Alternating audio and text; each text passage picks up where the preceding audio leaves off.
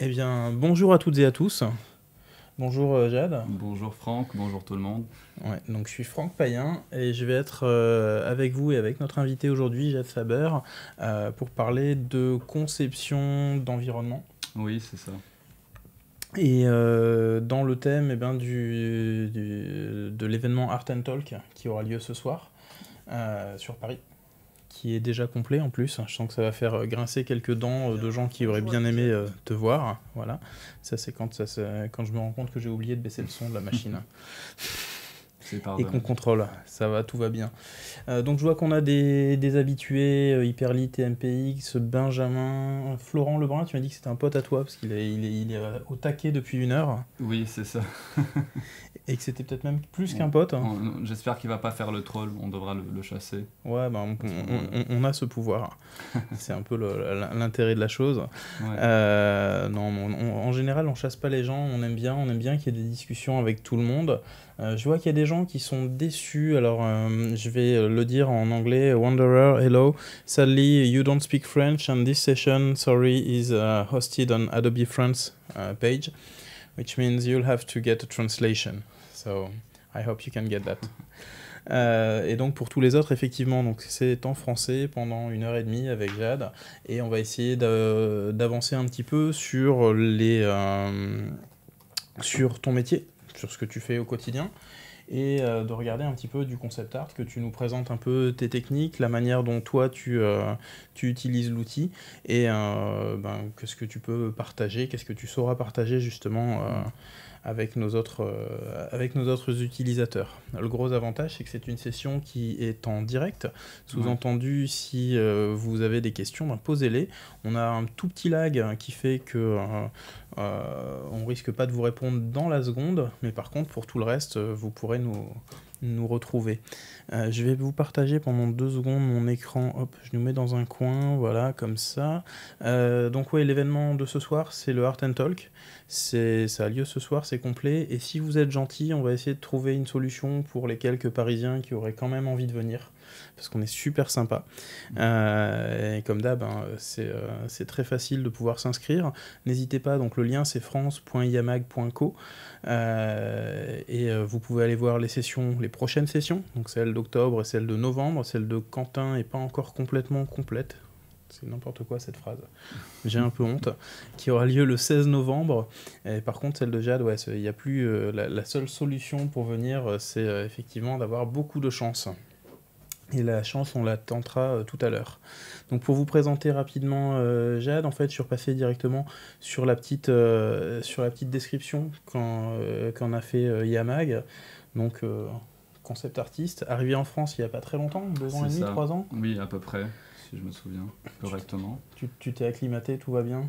Oui, là ça va. À Paris, on s'y habitue. C'est pas facile, mais on s'y habitue. Euh, tu as travaillé donc sur les illustrations pour du jeu vidéo. Exactement. Alors principalement, ça fait euh, trois ans à peu près que je travaille euh, pour One Pixel Brush, qui est un studio basé à LA et qui bosse principalement avec... euh, on a toujours deux clients, mais là principalement ça fait à peu près trois ans qu'on travaille sur Last of Us 2, qui sort Mhm. bientôt l'année prochaine, on espère moitié de l'année prochaine. Pas plus tard que ça. Euh, sinon, alors là, je donne pas du, euh, je suis pas en train de donner la release date du jeu, mais j'espère qu'il sortira pas plus. plus Alors que de, ça. de- de toute façon, que- aucune idée. Ouais, Oui. ouais, sur le, sur, le, sur le principe, qui est, qui est un petit peu comme euh, tout ce qui est gros jeux vidéo et autres, on sait qu'il y a, des, il y a des, des trucs qui sont en mode top secret et tout, donc Effectivement, tout ça, vous n'aurez jamais ces informations-là de notre part, tant pis pour vous. effectivement. Donc tout va bien. Et donc voilà, à part ça, j'ai travaillé aussi sur du Uncharted, Lost Legacy. Vous pouvez voir un peu sur mon station euh, des exemples de cela. J'ai travaillé sur, euh, j'ai fait une image pour Life is Strange. Bref, toutes sortes de, projets avec One Pixel Brush, avec Shadi Safadi. Mhm. Et donc, euh, voilà, en gros, c'est ça. Là, on est sur One Station. Donc, euh, donc là, là, il y a tout. Et euh, du coup, tu disais que tu étais arrivé en France il y a trois ans. Tu avais quand même commencé à bosser avant, je suppose Alors, avant ça, je, pendant un long moment, je, je, j'étais au Liban. Donc, je suis mhm. libanais d'origine. Et je travaillais sur toutes sortes de projets en attendant d'avoir un niveau mhm. qui me permettait de travailler sur des jeux AAA et sur des films et tout ça plus tard, peut-être. Et donc euh, j'ai fait des storyboards pour des pubs, euh, j'ai fait euh, du, un peu de design de, produits, un peu d'illustration. Tout ce qui mhm. me permettait en fait de, de m'entraîner en même temps, je le prenais. Et ça me permettait de me faire un peu, un peu d'argent en même temps d'entraîner mon dessin. Et en même temps, je faisais des travaux personnels. Mhm. Et donc, je montrer ça plus en détail ce soir sur le Art and Talk. Mhm. Et jusqu'à arriver au moment où j'avais le, euh, j'avais le niveau nécessaire. Enfin, j'ai envoyé un mail à, à et euh, un mois plus tard, il m'a répondu. Classe. et c'est ainsi que l'histoire a commencé. et du coup, elle a commencé, donc elle a plutôt bien commencé avec les différents euh, projets sur lesquels tu as pu participer. Euh, tu m'as dit que ça n'avait pas été aussi euh, simple que tu l'aurais cru au départ alors, triple A. Alors, au début, c'était, je me suis retrouvé, c'est un, déjà c'est une chose que je voulais, ça fait longtemps que je voulais travailler sur du, du triple A, des gros projets, tout le monde veut faire ça.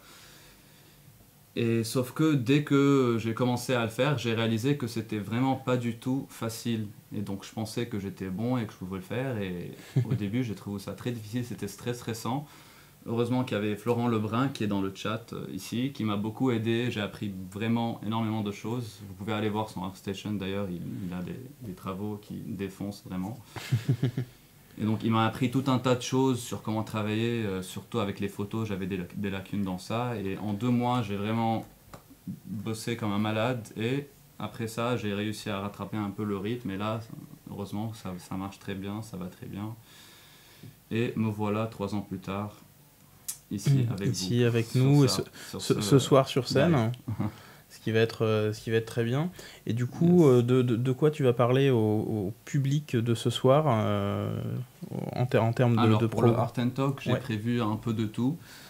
Alors il y a quelques personnes qui m'avaient dit, qui seront présentes dans le public du Art and Talk, qui m'avaient dit que ça serait intéressant de parler de mon parcours, donc je vais le faire un peu plus en détail en montrant des, des images. Ensuite, j'ai préparé du process d'image professionnel sur Uncharted. Sur la Sevas, mhm. malheureusement, je ne peux rien montrer encore. Mhm. Donc sur Uncharted, je vais montrer un peu les, briefs qu'on nous envoie, comment ça marche euh, un peu de A à Z, comment faire une image, comment ça fonctionne euh, avec Naughty Dog, avec One Pixel Brush. Mhm. J'ai préparé aussi des travaux plus personnels, euh, montrer un peu comment on, expérimente avec différents softwares, tout ça, pour pouvoir produire un concept art de façon efficace et rapide. Qu'est-ce que j'ai préparé aussi donc voilà, on va beaucoup parler de process en de fait. process et de, de, de, méthode de travail. Ça tombe bien parce que tout à l'heure, il y a Ness Sirocco qui nous demande si tu es autodidacte. Alors, autodidacte. Euh, est-ce que tu as appris tout seul? Est-ce que tu as appris euh, dans une école de dessin? Alors, justement, donc en fait, j'ai commencé à. À l'époque, il y avait un, un site qui s'appelait conceptart.org et c'est mhm. un peu l'équivalent de Café Salé en France. D'accord, ouais. Et donc conceptart.org, il y avait tout le monde dessus, il y avait toute l'industrie, c'était bien avant ArtStation, tout ça. Et euh, ils avaient fait, euh, en partenariat avec une, académie d'illustration en mhm. Amérique, une école qui s'appelait The Art Department. Et donc ils donnaient des cours en ligne, et j'ai commencé à prendre des cours en ligne pendant deux ans, je pense, deux ans et demi, sur euh, cette plateforme-là. Et ensuite, ça m'a quand même pris, c'était un bon début, une bonne mhm. base. Ensuite, ça m'a quand même pris, on va dire, trois ans de plus ou deux ans et demi d'entraînement et d'apprentissage personnel. Là, sur Internet, aujourd'hui, de nos jours, on a énormément de, de, ressources. Il y, a beaucoup de ressources. Et c'est vraiment pas très cher. Gumroad, mm. tout ça, à très peu, pour très peu d'argent, on peut avoir des, des, des tutoriels de, de, vraiment qualité, de, très grande qualité. Très, très organisés aussi, très structurés. Qui sont faits par des, qui sont faits par des personnes euh, professionnelles, enfin les meilleurs du monde en fait, mm. font des Gumroad, qui vendent à pas cher du tout. Et donc ça m'a aussi permis de voilà, en regardant Jama, en regardant des, des gens comme Jama, comme Eitan Zana, mhm. ça m'a vraiment euh, permis de, voilà, de monter, accéder à un niveau supérieur qui me permet aujourd'hui de faire ce que je fais, heureusement. De faire ce que tu fais. Alors du coup, euh, on a vu ce que tu allais nous donner au programme de ce soir. Et pour les gens qui sont avec nous sur le live, euh, aujourd'hui, qu'est-ce qu'on qu'est-ce qu'on fait cet après-midi? Qu'est-ce qu'on fait maintenant? Alors, cet après-midi, je vais. Alors, j'ai déjà préparé des assets. Alors, j'ai partagé ton écran. Voilà. D'accord, donc on va commencer tout de suite. Donc j'ai préparé quelques assets. Vous voyez là, on a des images sur lesquelles j'ai découpé préalablement d'autres images. Donc ça commence par euh, un certain thème. Donc là, on a des vieux temples et de la pierre et tout ça. Et donc je vais utiliser ces images pour faire des compositions et vous allez voir euh, mon process. Et donc cette façon de découper préalablement, en fait, elle permet vraiment de garder un workflow euh, rapide et efficace plutôt qu'à chaque fois de d'arrêter, de poser, d'aller sur mm. internet, de chercher une photo, de la découper chaque fois que j'ai besoin d'une nouvelle photo. Donc ça me permet vraiment, vous allez voir, avec le, surtout en utilisant le transform, l'outil euh, transform, de jouer avec les shapes et avoir mm. des compositions en prenant des images et en les simplifiant. Donc je vais tout le temps aller sur le noir et blanc puisqu'il s'agit de compos. On ne va pas mm. se soucier de couleurs. T'as pas, pas encore besoin, tu gardes juste la matière, juste les formes euh, de Exactement, je veux juste jouer avec les shapes, avec le lighting pour pouvoir avoir une composition qui est intéressante. Et donc je vais garder aussi un zoom euh, assez loin. On a un petit souci de langue, donc anglais. Voilà, c'est bon. Et donc je vais garder un zoom out pour pouvoir avoir une vue générale euh, sur ma composition parce que mhm. à ce moment-là, il ne s'agit pas de faire un zoom in et de travailler le détail, mais juste la composition, la lumière, la base. Et donc ça va être un peu le squelette. Si jamais je vais continuer cette image et la prendre plus loin, ça va être un peu la composition va être le squelette de cette image et c'est la partie la plus importante. Mhm, mhm. Carrément, donc ouais, là on voit que tu gommes des bouts de détails dont tu n'as pas besoin, que tu sais que ça va te perturber derrière. Ouais, exactement.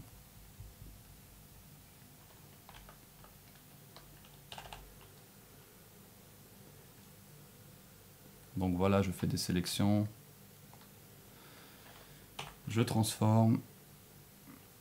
Alors là, le oui, alors la, petite blague, c'est que donc on est sur la version CC 2019 de Photoshop, qui va faire grand plaisir à tous les nouveaux arrivants sur Photoshop, et qui va faire un peu grincer les dents les anciens. Euh, puisqu'il y a, y a quelques raccourcis qui ont, qui ont bougé là-dedans. Alors je préfère garder le tout sur un autre calque, mm, mm, mm. comme ça. Comme ça, ce sera plus, euh, plus simple à gérer. Exactement. Ouais. Et, notamment, donc il y a un raccourci qui est euh, enfin arrivé à l'égal de partout, c'est le CTRL Z ou commande Z, euh, qui, euh, qui fait que maintenant, auparavant, pour revenir d'une étape en arrière dans l'historique, vous passiez, euh, vous faisiez CTRL ALT Z, CTRL ALT Z, CTRL ALT Z, et maintenant ça va plus être que CTRL Z, donc ça vous fait plus qu'une touche à retenir, et ça va vous permettre de gagner un peu de temps. Par contre, sur l'outil Transform, toi, tu étais plus habitué à la version Alors moi, j'étais effectivement habitué à la version d'avant, et du coup, ça, va, ça me prend un peu de temps là pour, euh, pour gérer tout ça, mais c'est pas grave, on va y arriver quand même. Ouais, mais c'est comme tout, de toute façon, les outils, l'idée, c'est vraiment de pouvoir faire de la, prise en main, euh, de, d'être, euh, de, de retrouver ses automatismes et ses réflexes. Yes. Alors il y a TMPX qui sent que cette session va être très intéressante à suivre ouais, et qu'elle commence bien. Je l'espère bien. Merci. Et Antoine Boutin qui dit que tu es très bon et très pédagogue. Alors Antoine Boutin c'est aussi un troll, on va devoir peut-être le chasser. on ne chasse pas les gens tout de suite. C'est un très bon ami à moi et un collègue.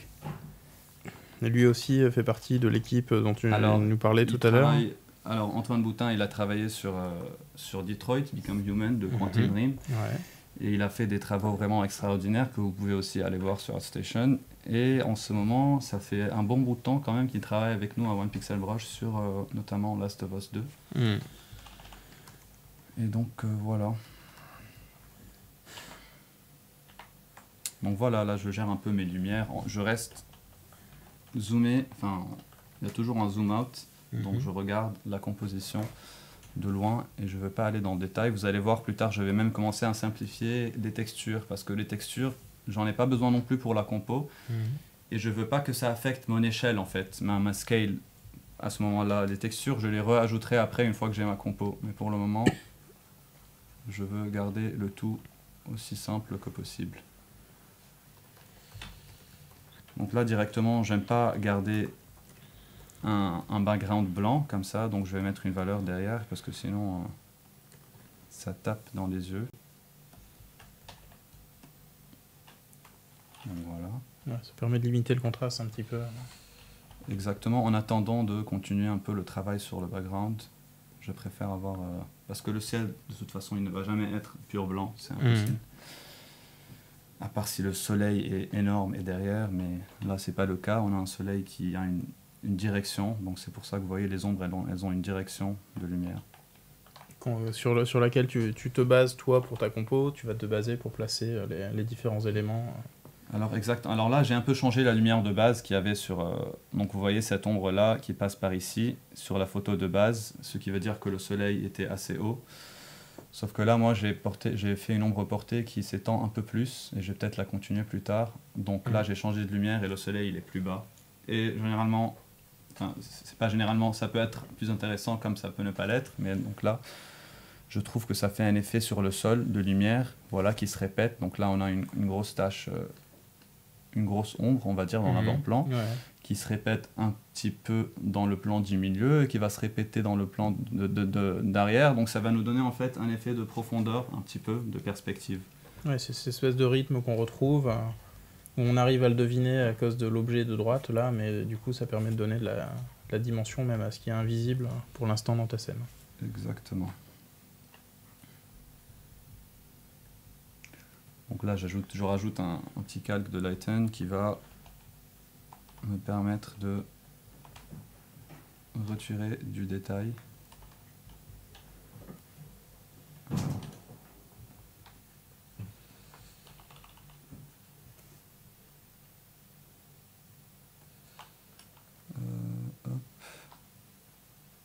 Pourquoi ça ne marche pas qui est en lighten, tu es, sur un plus sombre. Je pense que j'ai une sélection quelque part qui est minuscule. Ça doit être pour ça. voilà, donc là ça marche. C'était effectivement ça, la sélection qui traîne.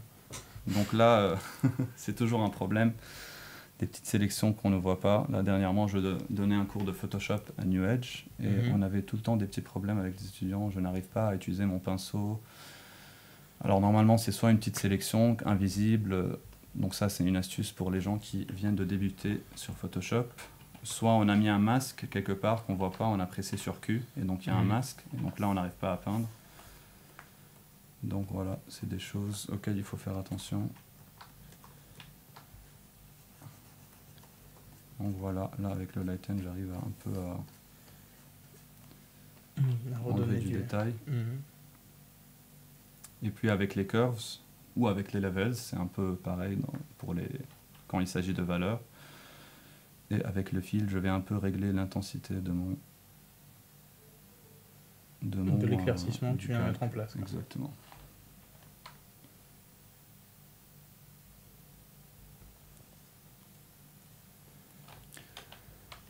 Donc vous voyez, des fois, je prends mon temps c'est pas, même si c'est une compo, je veux bien que les valeurs soient vraiment exactes. Je vais pas le faire très vite juste pour me dire ok c'est une compo, je m'en fous. Donc j'ai souvent cette, cette, remarque quand je dis quelque chose à quelqu'un ou à un étudiant, je lui dis voilà ça c'est fait à l'arrache. Il me dit oui mais c'est juste une compo. Ça veut rien mmh. dire c'est juste une compo puisque la compo c'est la partie la plus importante où on va résoudre tous nos problèmes.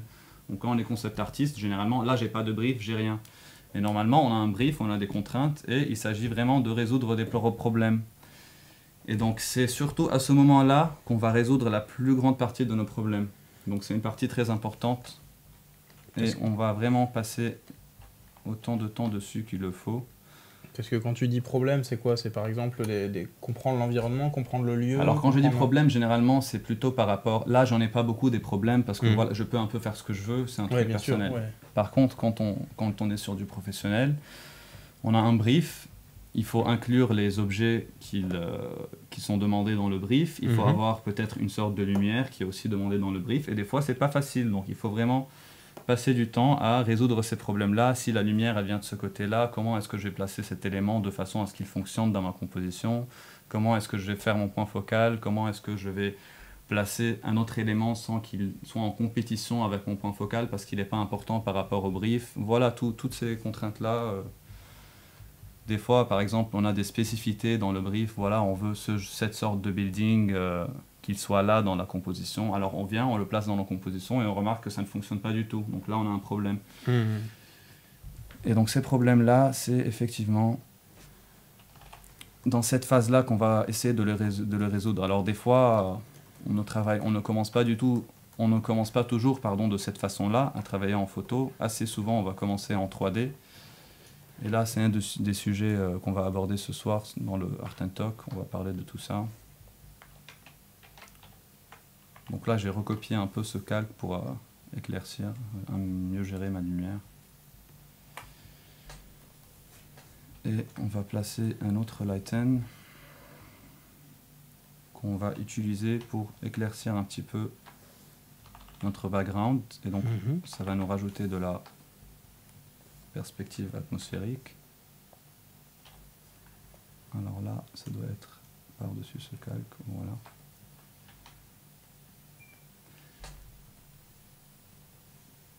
Donc là, les parties qui sont euh, très sombres, je les éclaircis un peu avec du lighten pour ne pas avoir du contraste là où je ne veux pas avoir de contraste. Et le contraste, c'est un très bon outil qui nous permet de contrôler un peu notre point focal et la position de notre point focal.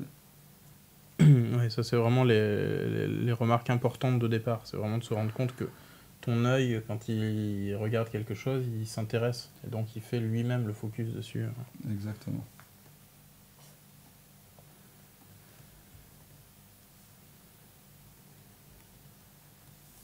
Alors là, je vais commencer à travailler un peu le, le background. Donc je retourne, je cherche euh, des formes intéressantes.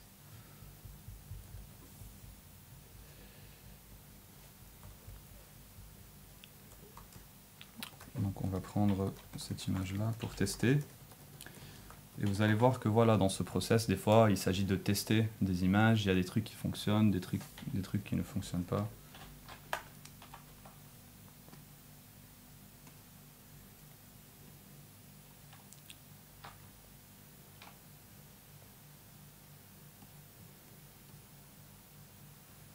Donc je ne vais pas hésiter à ce moment-là. Donc quand, quand, on travaille sur une image finie, on fait attention à ce que voilà l'image qu'on rajoute, qu'on la qu'on la stretche pas beaucoup, qu'elle reste présentable pour que l'élément soit normal relativement dans la photo. Alors que là, comme c'est une compo, mhm. je vais vraiment m'en foutre de stretcher les textures et tout ça. Je veux juste avoir une bonne shape derrière. Les textures, je vais les simplifier de toute façon.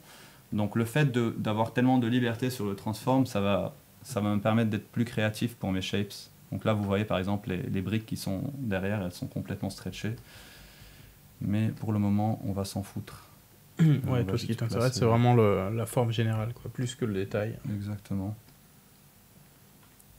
Donc je vais placer ça ici et je vais, avec les curves, regrouper. Donc là, on parle de regroupement de valeurs. Mhm. Donc j'ai mis un calque qui est derrière, vous le voyez là un petit peu. Donc je regroupe les valeurs pour euh, avoir plus de perspective atmosphérique dessus.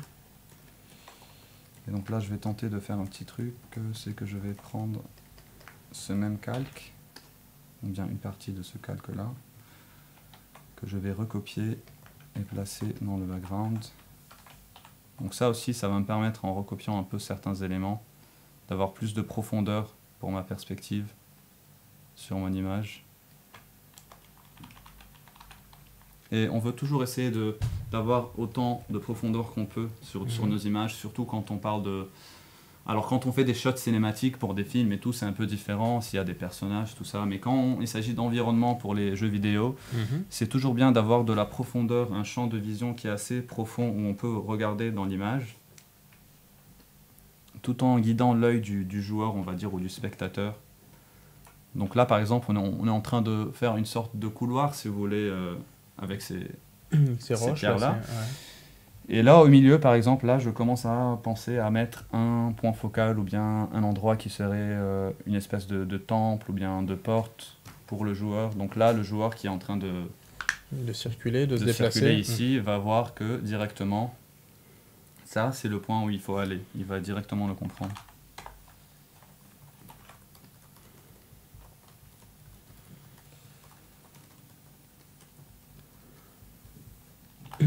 il y a ton collègue, euh, du, ton collègue danois Danar Making Art qui te passe le bonjour.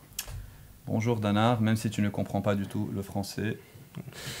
tout à fait. Il a, il a réclamé des sous-titres qui, auxquels il n'aura pas accès tout de suite. Stéphane, Stéphano nous dit tiens, quel conseil donneriez-vous pour débuter dans ce domaine? En quel cas on lui répond du boulot et de la patience. Est-ce qu'il n'y a que ça? Est-ce qu'il n'y a que le boulot et la patience? Pour débuter dans ce domaine, le boulot et la patience, qu'est-ce que ça veut dire? Alors la patience, je vois ce que ça veut dire. Hmm. Le boulot, du travail, des, heures devant le... Ah, de passer du temps à, travailler. Euh, alors les conseils, alors oui, Effectivement, euh, là, je, ça, me, ça, me, rappelle un peu un prof quand j'étais justement dans cette école-là en ligne, TAD. Mhm. Et donc, on avait un prof qui s'appelait euh, Jason Castagna. Ouais. Je pense qu'il travaillait chez Rockstar, je ne je me souviens plus très bien. Et donc, il nous disait tout le temps, tout le temps parce que quand voilà, on lui posait la même question, en fait, comment faire pour avoir du travail dans ce métier-là. Et il nous, il nous, disait tout le temps, soyez assez bon, donc get, get good enough and you will get mhm. work. Et donc, ça, ça m'est un peu resté dans la tête pendant toutes ces années-là. Et c'est pour ça que je m'acharnais à, m'entraîner, à, à, devenir meilleur dans ce domaine-là. Et donc, si vous devenez assez bon, et eh ben, le travail... Il va venir tout seul ou Il va un peu venir tout seul. Après, évidemment, pour mettre un premier pied, on va dire, dans l'industrie, il mhm. faut quand même postuler autant qu'on peut. Donc, je suis passé par une période où vraiment je cherchais beaucoup. Alors là, comme je venais du Liban déjà et l'industrie n'existe pas, donc je devais forcément trouver du travail ailleurs. Donc je cherchais vraiment un peu partout sur Internet, donc dans toutes les boîtes de jeux vidéo, tout ça, je postulais, je postulais partout. Donc n'hésitez pas déjà en premier lieu à faire ça. Une fois que vous avez votre premier boulot, déjà c'est bon, on a, on a un, income, enfin un, salaire qui est, qui est, qui est stable, on va dire. Mhm. On peut aussi consacrer un peu de temps à s'entraîner, à aller euh, dans la direction où on veut, pour quelle boîte j'ai envie de bosser éventuellement, tout ça. D'ailleurs, la petite parenthèse, donc souvent les gens nous posent cette question quoi mettre dans, notre portfolio et tout pour bosser euh, pour telle boîte, machin. Ouais, ouais.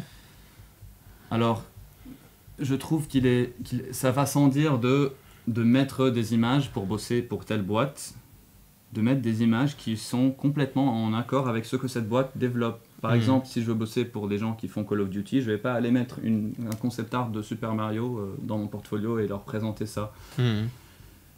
Et donc euh, c'est pour ça que euh, voilà, il faut bien guérir votre portfolio en fait par rapport au, au travail que vous voulez faire, au travail de la compagnie surtout pour laquelle vous voulez bosser. Donc ça c'est très important aussi.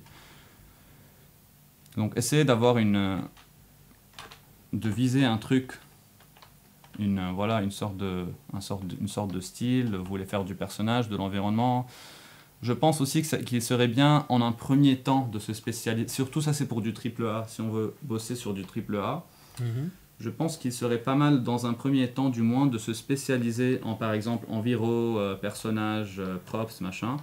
Parce que si vous faites un peu tout, vous allez vous, allez vous améliorer lentement en tout, mais vous ne serez pas assez bon par exemple, en juste un truc pour du triple A. Donc euh, c'est pour ça que je dis euh, pour du triple A, par exemple, ça serait bien de, euh, de spécialiser en un premier temps. Ouais, et puis de toute façon, ce qu'on voit sur des jeux AAA, euh, c'est aussi quand même que les. Enfin, c'est des jeux dont le générique est gigantesque. C'est-à-dire que vous n'êtes jamais tout seul. Vous n'êtes pas en train de faire un jeu indépendant sur lequel vous allez faire et le concept, et les persos, et les modélisations, et le gameplay, etc. etc. Là, il y aura énormément de monde. On parle de AAA parce que les équipes sont nombreuses. Tout le monde est spécialisé dans. C'est très spécialisé mm. en fait. Tout le monde est spécialisé dans quelque chose. Et... Mm, mm, donc là, je simplifie un peu plus avec du Lighten. Donc il y a plusieurs techniques pour euh, simplifier un peu le détail. Donc vous voyez, je, vraiment, j'essaie de me débarrasser un peu de ces textures. Là, il y a une autre technique, par exemple, si je recopie ce calque-là, et que je vais sur les filtres, donc euh, on va aller sur les filtres. Donc ces filtres-là que normalement on n'utilise quasiment pas pour du concept art, on peut quand mhm. même trouver des façons de les utiliser. Là, si je vais sur le cutout, ça va simplifier. Tu fais vraiment de la découpe dessus pour pouvoir. Euh, et donc là, là c'est un peu trop simple. Donc ce que je vais faire, c'est que je vais le clipper avec Alt sur le cal qui est en dessous. Et avec le fil, encore une fois, je vais régler l'intensité. Vous voyez, donc là, je peux vraiment me débarrasser un peu du détail hmm. qui n'est pas nécessaire euh, à cette, euh, pour cette phase-là.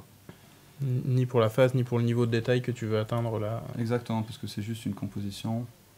Et je veux que ça reste une composition. Parce que c'est autre chose. Là, si je me dis, je veux pas faire une composition, mais je veux faire une image, je rentre mhm. dans tout, une, tout un autre. Euh, j'aurais beaucoup d'autres problèmes, comme on a dit avant, à résoudre, qui sont voilà l'échelle des textures. Donc là, j'ai transformé des choses et tout, donc forcément, les, les textures se sont transformées avec, et donc ça change l'échelle. Donc je veux pas me soucier pour le moment de ça. Je veux résoudre. En fait, c'est comme si on découpait les étapes. Et donc on résout tout d'abord cette étape-là, mhm. ensuite on passe à autre chose. Parce que si je veux résoudre tout en même temps, là je vais faire un peu de la merde. Vous voyez, ça va pas c'est difficile. Alors il y a des gens qui arrivent à le faire euh, avec le temps, mais bon, c'est toujours mieux de gérer les choses petit à petit de cette façon-là.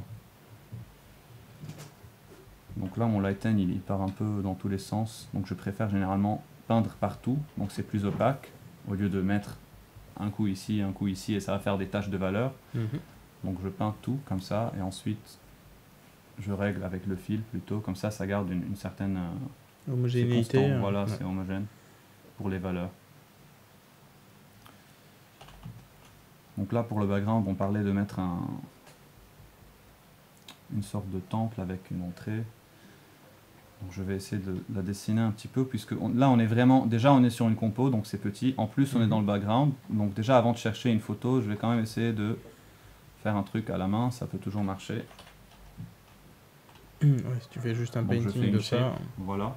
Donc là, ça fonctionne plutôt pas mal.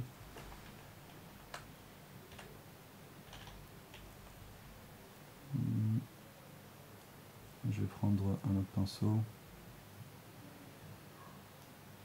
une autre broche. Mm, mm, mm. Oui, donc avant d'arriver, en fait, ce que vous n'avez pas vu parce qu'on était en mode préparation, c'est que euh, Jade a installé toutes les brosses sur les, avec lesquelles il travaille au quotidien pour pouvoir s'adapter à cette machine. Quand tu, quand tu travailles sur de, euh, dans les studios, euh, chez One Pixel Brush ou autre. Est-ce que tu travailles de chez toi? Est-ce que tu es dans le studio? Est-ce que tu es sur ta machine, sur des machines du studio? Alors One Pixel Brush, c'est euh, du travail que je fais de chez moi. One Pixel Brush, en fait, c'est euh, Shadi Safadi. Mhm. Et Shadi, il travaillait euh, à Naughty Dog dans le temps. Il a travaillé longtemps là-bas et il connaît vraiment très bien toute l'équipe de concept art. Et donc, depuis qu'il est parti et qu'il a fondé sa propre boîte, il est resté très ami et très proche d'eux. C'est pour ça qu'il travaille beaucoup avec eux. Après, on a, il, a, il a une équipe de personnes, dont moi, Florent Lebrun, euh, qui est sur le chat, là, je ne sais pas s'il est toujours, mmh, Danar, qui est aussi là, Antoine. Donc ça, déjà, ça me fait plaisir, les gars, que vous êtes là, même si Danar ne comprend pas du tout ce qu'on dit. Euh, donc on travaille chacun de chez lui euh, pour, pour One Pixel Brush. Et donc... C'est à distance que ça se fait, principalement. Pas principalement. C'est quoi ça, se fait à distance. C'est du Skype, euh, tout le monde. Euh, Alors, Shadin, généralement, il nous envoie les briefs qu'il reçoit mhm. de, Naughty Dog. Et euh, des fois, il nous fait des vidéos, par exemple, pour nous expliquer voilà, là, ils veulent ça, et là, on veut ça. Donc, il va, il va aller leur rendre visite. Il habite pas loin de, du studio là-bas. Mhm. Il va aller voir John Sweeney, qui est généralement le, qui est le, un des directeurs artistiques sur Last of Us 2. Ils vont discuter, il va prendre les briefs et après, il va nous les refiler et il va nous faire des petites vidéos des fois pour nous expliquer ce qu'ils veulent euh, hmm. de ces images-là.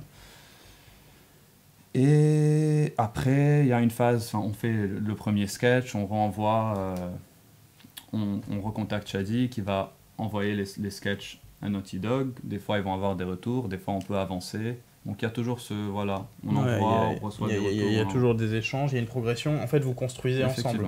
Exactement. Par contre, euh, je dirais que voilà, ils sont pas. C'est pas qu'ils sont pas exigeants, ils sont hyper exigeants. C'est du très haut niveau de voilà, c'est du triple A, du Last of Us 2, c'est pas facile. Mhm. Par contre, on s'est quand même beaucoup habitué à travailler avec eux et ils se sont habitués à nous. Du coup, et du, coup, il y a, un flow il y a une confiance et un flow qui est assez rapide. Donc généralement, on arrive à quand même sortir des concepts. Euh, vous, ouais, vous avez réussi à trouver les bons, les bons moyens d'échanger, les bons, ils, savent, ils, savent, vous guider. Euh. Exactement, et ça, ça, part aussi du fait que voilà, Shadi il a bossé avec eux, euh, hmm. il les connaît bien. On est même allé les voir à un moment à, Los Angeles, à LA, on les a rencontrés, John Sweeney avec Tanzana, toute l'équipe, Aaron Limonique. D'accord, ouais. Et voilà. Mais c'est alors il y, a une question de Ludovic Sanson qui dit est-ce que tu, tu utilises les Shadis brushes? alors, les, les fameux Shadis brushes, on les a tous, bien sûr. Je, les, je suis sûr qu'il y en a. Alors là, j'ai un, un, folder avec mes, mes brushes à moi. Et donc, mes brushes à moi, il y en a presque. Il y en a peut-être quelques-unes, deux ou trois que j'ai fait moi-même. Mais les mhm. autres, c'est des brushes que j'ai récupérées d'autres artistes. Et parmi ces broches-là, il y en a sûrement deux ou trois qui étaient euh, pour Shadi, enfin de, des broches de Shadi. Qui, viennent de chez lui. Exactement. Est-ce que tu, tu démarres toujours en noir et blanc?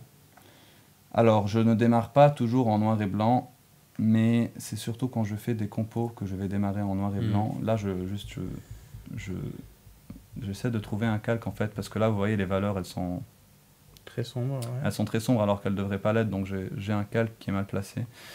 Et donc, euh, donc je ne commence pas du tout euh, toujours en noir et blanc, ça dépend. Mais par contre, quand je fais des compos comme ça, hmm. j'aime bien me concentrer sur le, noir et le blanc. Après, comme vous voyez, comme j'ai toutes les photos ici, si je vais refaire le truc en couleur, ça me dérange pas. Je, je sais vraiment à peu près quelle photo j'ai utilisée et hmm. où je vais repartir d'une base couleur et travailler en couleur. Par contre, je vais jamais colorier, je déteste faire ça.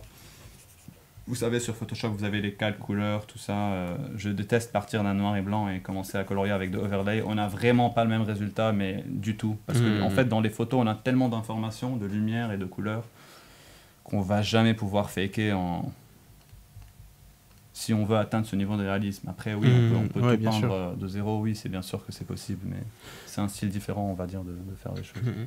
Alors, tu sais, quand tu, je sais pas si tu utilises ça, moi j'ai l'outil de sélection, l'outil de déplacement pour pouvoir retrouver le, bon calque et de faire un clic droit dessus.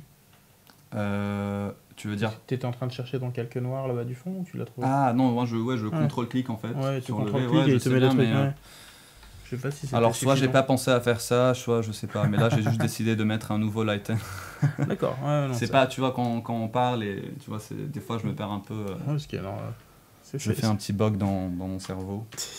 mais c'est pas grave, on arrive quand même à gérer euh, un minimum pour que ça soit intéressant, on va dire. Ouais, je pense que là, je pense que là ça, leur, ça leur plaît bien. Tiens, salut Sébastien. Sébastien Bruckert qui nous rejoint aussi. D'accord, salut Sébastien. Donc là, je vais mettre, euh, voilà, je, vais mettre une petite porte ici. Donc comme on disait avant, pour faire un,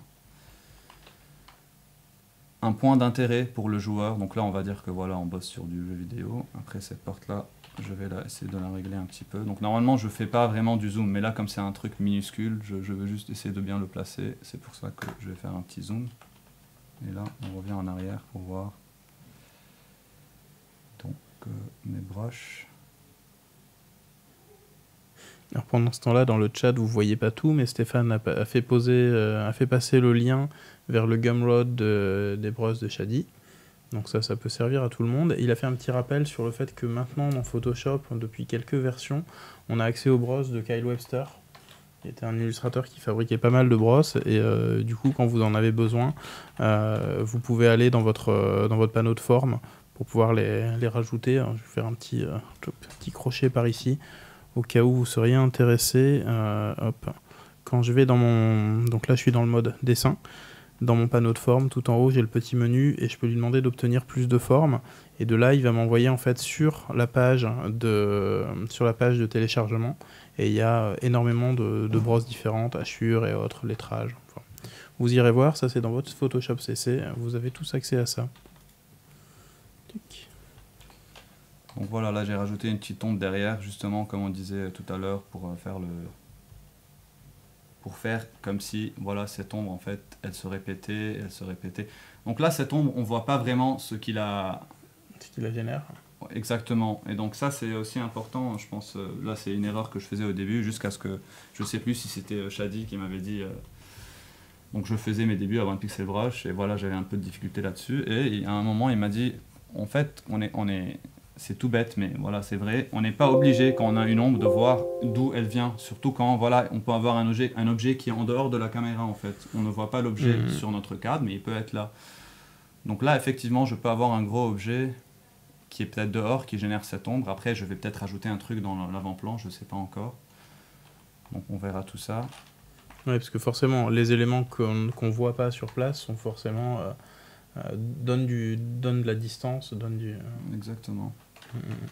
Donc là, vous voyez, je retourne un peu. Euh, je fais un. Là, je l'ai sur CTRL F. C'est un raccourci que j'ai choisi moi-même pour tourner mon pour Faire le flip. Hein. Et donc, pourquoi je le fais? Normalement, ça nous permet de voir des erreurs. Et surtout là, ça me permet de voir. En le faisant, j'ai remarqué que mon, mon, building là, surtout, qui est un peu, il est un peu symétrique par rapport à la perspective. La porte n'était pas bien placée au milieu, il n'était pas, pas très bien symétrique d'en haut, donc ça me permet d'avoir un, œil plus frais sur ma shape et de la, de la réparer, euh, on va dire, un petit peu. Mmh, mmh, mmh. Donc là, je vais repartir sur mes, mes alphas. Donc on appelle ça des alphas et des alphas, voilà, avec S. Et, encore une fois, c'est un process qu'on utilise beaucoup euh, dernièrement. Si vous voyez des, des de John Sweeney, par exemple, euh, c'est la, la même technique donc on utilise beaucoup ce genre de process, pas seulement pour faire des compos comme ça, mais aussi quand on travaille sur euh, un concept art réaliste, par exemple sur Last of Us 2. Mhm. À des moments, on commence sur... Euh, on va partir de base, par exemple, de Google Earth. Par exemple, ça, c'est une sorte de voilà problem solving. J'ai un concept à faire. Mhm. On va dire dans n'importe quelle ville, par exemple, pour Quantic Dream euh, Become Human, c'était à, à Détroit, Detroit. Donc, au lieu de refaire donc là, j'ai un, endroit, un emplacement qui, est connu à Détroit. Au lieu de refaire tout à partir de zéro, pourquoi pas prendre une bonne photo d'internet de mhm. cet emplacement-là et de travailler par-dessus en rajoutant justement des éléments des, Des éléments à toi que tu vas pouvoir euh, réintégrer. Exactement, réintégrer parfaitement. Alors les techniques d'intégration, on va peut-être ça un autre jour, mais on peut réussir vraiment à intégrer des, de, de façon quasi parfaite des éléments dans un concept art. Je suis sûr que certains d'entre vous ont déjà vu ça plusieurs fois. Alors du coup, je vais peut-être en profiter pour poser la question aux gens qui nous suivent là à l'instant. Est-ce que vous, vous, êtes déjà utilisateur de Photoshop euh, Vous mettez Photoshop PS et vous mettez 0, 50 ou 100%. 100% c'est vous êtes des tueurs sur Photoshop et vous savez, euh, vous savez faire exactement ça. Tiens, un petit rappel intéressant de Stéphane aussi. Euh, maintenant, la symétrie, le flip que tu viens de, de, réaliser, ça fait partie directement du menu affichage. Donc c'est plus c'est plus un, flip des pixels, hmm. c'est un flip du visuel des pixels. Ici, tu vois, symétrie d'axe horizontal. Avant, c'était, euh, enfin, tu l'as toujours d'ailleurs. Tu as, toujours la transformation. Je pas. Je c'est view, euh, et tu dois avoir flip horizontal. Voilà, plus haut, juste euh, moins haut. Oui. Là. Descends, descends, descends. Hop. Juste au-dessus de Oui. Voilà. Flip horizontal va te faire exactement ce que tu faisais de passer d'un côté à l'autre. Ouais. Euh, mais là où tu retournais réellement ton image, tu faisais une hmm. symétrie vraie de l'image, là tu fais juste une symétrie de la view. Comme ça ah, tu restes dans ton sens euh, original. D'accord. Ça permet d'aller un tout petit peu plus vite. Parce que ça, ça, se base dans la carte graphique en fait. D'accord. Si j'ai bien compris. Alors le transform. Ah, quoique, tiens, ça fait plus le snap. Parfait. Donc là, je rajoute. Euh, On a peut-être résolu un truc. Donc là, j'essaie de, voilà, de, de, voir s'il si, il serait intéressant quand même de rajouter encore des éléments dans le foreground qui mhm. aussi répètent un peu, voilà, encore une fois, les, les shapes qu'on avait euh, là-bas. Donc là, je vais poser ça, je vais effacer un petit peu. Alors, je vois qu'il y a des, des, réponses à ma grande question sur est-ce que vous êtes utilisateur Photoshop? Ça va de 10% à 90%. Donc, euh, on a, on, a tout un panel. On a même des gens qui, euh, qui oscillent entre CC et CS6. C'est le temps de le, temps d'apprécier. Le CS6, moi. Ah là là, ça c'est la, la, version old school. Ouais. Quoique là, on a vraiment des options. Je t'avoue que ça fait pas très longtemps que tu as migré. Que j'ai passé sur celui-là et ça m'a bien plu déjà l'option des brushes, on peut bien les ranger. On, peut les voir, on peut les nommer et tout. En plus, il y a moyen, si vous êtes sur des. Hein, je sais que pour, pour, certains, vous bossez sur des, des, très grands écrans, il y a moyen de choisir et de configurer ce qu'on va, ce qu'on va afficher. Là, il y a plein de dossiers parce qu'il y a les brosses de tous les gens qui sont passés avant toi, mais tu peux dire j'ai envie de voir que les miennes. Tu vois, ouais. Et donc là, par exemple, moi j'ai rangé mes brushes, euh, vous voyez, j'ai des donc j'ai appelé ça Nature Brushes et donc en travaillant sur Last of Us et euh, Uncharted, on a souvent on doit masquer par exemple mm. des herbes et des trucs comme ça et de la végétation. Donc on a des brushes spécifiques pour ça qui sont moins peinture, tu vois, elles font moins peinture mais elles permettent de masquer pour du façon matte painting un peu. Mm-hmm. Donc je les ai mises dans un folder et puis voilà Greg Rutkowski, je pense que la plupart le connaissent. C'est un artiste euh, qui a un coup de brush vraiment magnifique et donc il a fait ses propres brushes que vous pouvez aussi trouver sur Gumroad. Je pense qu'elles sont gratuites. Et donc je les ai mis à part dans un. Je ne les ai pas toutes, mais j'en ai choisi quelques-unes. Mm, mm. Donc je choisis toujours en fait celles qui me plaisent et les autres je, je, les jette. Je les teste et tout avant de les garder parce que j'ai pas envie d'avoir un, 1000 brushes sur mon. Ouais, t'as pas, pas forcément le temps de trier et de choisir. Enfin de, non, en fait, justement, c'est que je fais le tri parce que j'ai pas envie de, de, me perdre avec un milliard de, de brushes sur mon Photoshop. J'aime bien, voilà, j'ai mes brushes, je les utilise et je teste les nouvelles. Si je les aime bien, je les garde. Si je les aime pas, je fais le tri. Donc voilà, les folders, c'est intéressant. Alors tiens, il y a une question intéressante de, de Sébastien qui nous dit, mais alors le, le, symétrie d'axe horizontal dans la view, il fonctionne sur, le, il fonctionne sur la page, mais il ne va pas fonctionner dans le, dans le navigateur. Lui, il se sert beaucoup de la navigation aussi. D'accord. C'est marrant, ça, j'avais pas du tout pensé à ça. Ça s'appelle une feature request. Très cher Sébastien, on va te passer le, lien des feature requests pour, faire, pour améliorer votre Photoshop Alors là, on repasse, j'essaie de retrouver ce calque.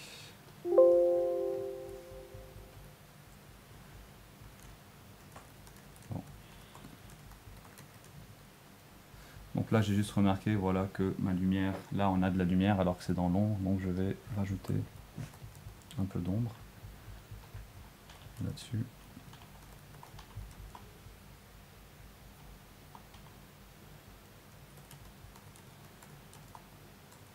Donc là, je me permets vraiment de mettre des coups de pinceau. Je m'en fous d'être très propre.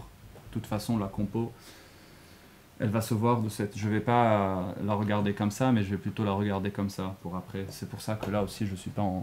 Voilà, quand j'ai fait mon image, mon, nouveau fichier, je suis allé sur de, 2400 par 1200. C'est pas énorme. Normalement, quand on fait une image, on va plutôt sur du 5000, sur du 6000. Histoire de pouvoir la tirer, 6000, je pouvoir, pouvoir zoomer dessus euh, largement. Alors euh, oui, généralement quand on fait des images professionnelles, on aime bien travailler sur de la haute résolution. Comme ça, mhm. déjà par exemple si on travaille du, sur du, 6000, quand on passe sur du 3000 après pour la présenter au client, déjà ça cache pas mal de, de, de, de, de petits, de petits détails. De petits, détails Ça rend vraiment bien en haute résolution. Et donc là, comme c'est une compo, on n'a pas besoin de plus de ça. Donc là, je vais un peu euh, assombrir le ciel et commencer à faire des petits nuages. Alors c'est vraiment ce que je préfère faire le plus dans mes compos, c'est trouver des sortes de voilà de peindre des shapes de nuages. Euh, ça m'amuse. Chacun a son truc. Comment mhm, c'est ça mhm. Il y a Hyperlit qui demande si Ctrl S marche aussi sur 2019. Euh, Ctrl, S, comme enregistré, ouais ouais. Ou, alors c'est une manière détournée de te dire que tu, tu travailles en roue libre. Hmm. je ne sais pas. c'est justement pour ça que voilà, je commence à sauvegarder. Donc on va pas se faire chier à donner un nom pour le moment. Je vais juste sauvegarder. Alors il y a Aurore qui nous dit euh, elle ne s'est pas encore habituée au dossier de brosse à l'intérieur de, de Photoshop CC. Euh, du coup, elle est un, petit peu frustrée sur ça. Euh, faut pas vous inquiéter parce que les dossiers, on n'est pas obligé de les, utiliser. Moi, je sais que je les ai sur le, sur le côté parce que ça me permet de trier les différents éléments. Mais si j'ai envie de prendre une brosse que j'utilise tout le temps et de la mettre à la racine, je peux tout à fait le faire dans un coin. Là, vous voyez, je, je la sors, je la glisse, j'ai la ligne bleue et j'ai plus les dossiers. Donc derrière, j'ai plus qu'à supprimer, à virer carrément euh, tous les tous les dossiers et retrouver le comportement de ce qu'on avait dans les versions précédentes de Photoshop. Ça peut être, si ça peut être un truc pour vous simplifier la vie par la suite.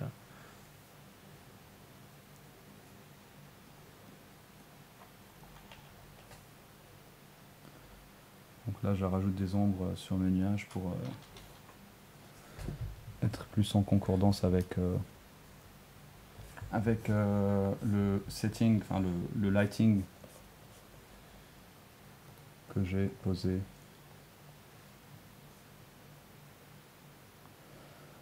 en début de cette image. Donc là déjà pour une compo, on a déjà notre compo, donc on peut s'arrêter là. Après je peux faire des petites retouches. Par exemple là je remarque que ce rocher là est un peu trop détaillé par rapport, euh, on voit du contraste là, du petit contraste, donc ça me dérange parce que voilà je veux pas que ça fasse de, de la compétition avec le reste. Ça c'est un peu trop clair, donc je vais assombrir un petit peu pour avoir une bonne perspective atmosphérique qui graduellement Donc là, je fais vraiment les dernières retouches avant de passer à autre chose. Donc sur ce rocher, par exemple, je remarque que cette valeur-là, elle est censée être... Il est censé avoir de la lumière, mais on ne le voit pas trop. Là, ce que je peux faire, par exemple, je peux faire un petit zoom. On va tenter de... On va aller sur le Magic Wand. Mhm. Et voilà, je vais sélectionner alors que cette partie-là. Donc le Magic Wand, je ne sais pas si vous le savez, mais vous pouvez vraiment... Ça, c'est un truc que Florent m'a appris parmi les, les plusieurs choses qu'il m'a appris. Donc on va sur le Magic Wand et là sur la tolérance, on peut vraiment gérer de combien de cette valeur-là on veut sélectionner. Après, si on enlève le contiguous, on peut aussi contrôler. Donc sans le contiguous, ça va sélectionner tout ce qu'il y a comme valeur, tout ce qu'il y a comme euh, qui ressemble à cette valeur-là sur ce même calque. Avec le contiguous, ça va sélectionner une petite partie, donc ça va le faire en partie. Donc là, j'ai besoin que de cette partie-là. Donc je vais virer le reste en pressant sur Alt avec l'outil de sélection. Ensuite, je vais faire un CTRL-C, CTRL-V, donc ça va aller sur un autre calque, comme ça, ça me permettra de, de, pas, de garder mon image de base. Alors là, en, compo, c'est pas nécessaire, mais c'est une habitude que j'ai du, travail. Donc je fais toujours des copies pour les petites modifications comme ça, parce qu'on ne sait jamais quand le client nous donnera du feedback et voudra revenir sur, sur des trucs qu'on avait avant. si jamais il te dit « Ah, mais j'aimais mieux avant euh, », t'es bien Exactement.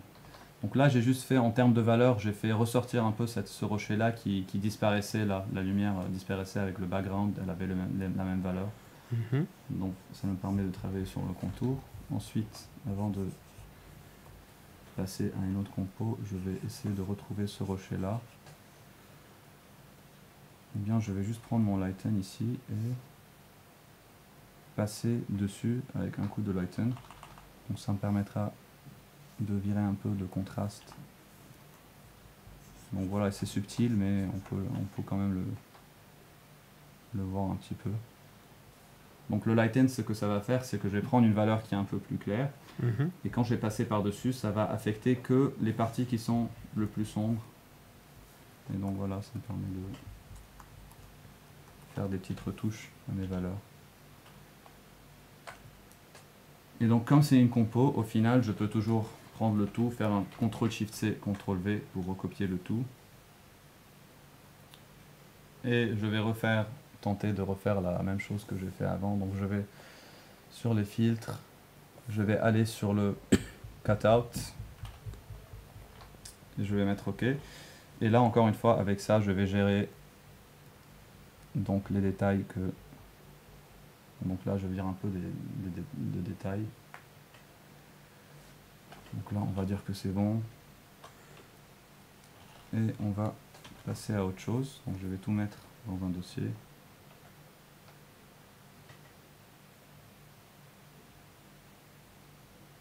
Et je vais continuer. D'accord. Donc tu as souvent ce process-là ou c'est que pour nous? Euh, le, dossier, travailler sur plusieurs images dans le même, euh, document? Non, je suis, normalement, je suis, on va dire que je suis relativement organisé par rapport à mmh. ça. Et soit on fait des petits dossiers comme ça dans lesquels on range les compos, soit on va faire une grande sheet sur laquelle on va mettre plusieurs compos. Les, vignettes. Mmh. Pour le moment, je préfère. Euh, normalement, je les fais comme ça, et puis si je je sais pas si je veux les organiser sur une même feuille pour les poster ou faire un truc mmh. avec, j'ouvrirai un autre fichier et je les recopierai, recopierai dessus.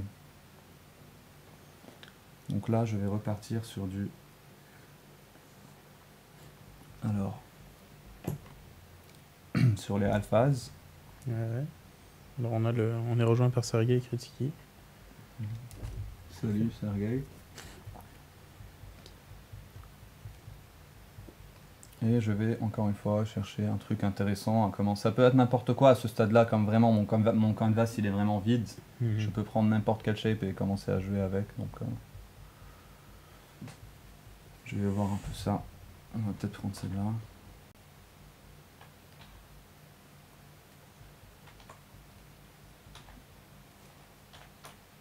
Noir et blanc. Et on commence.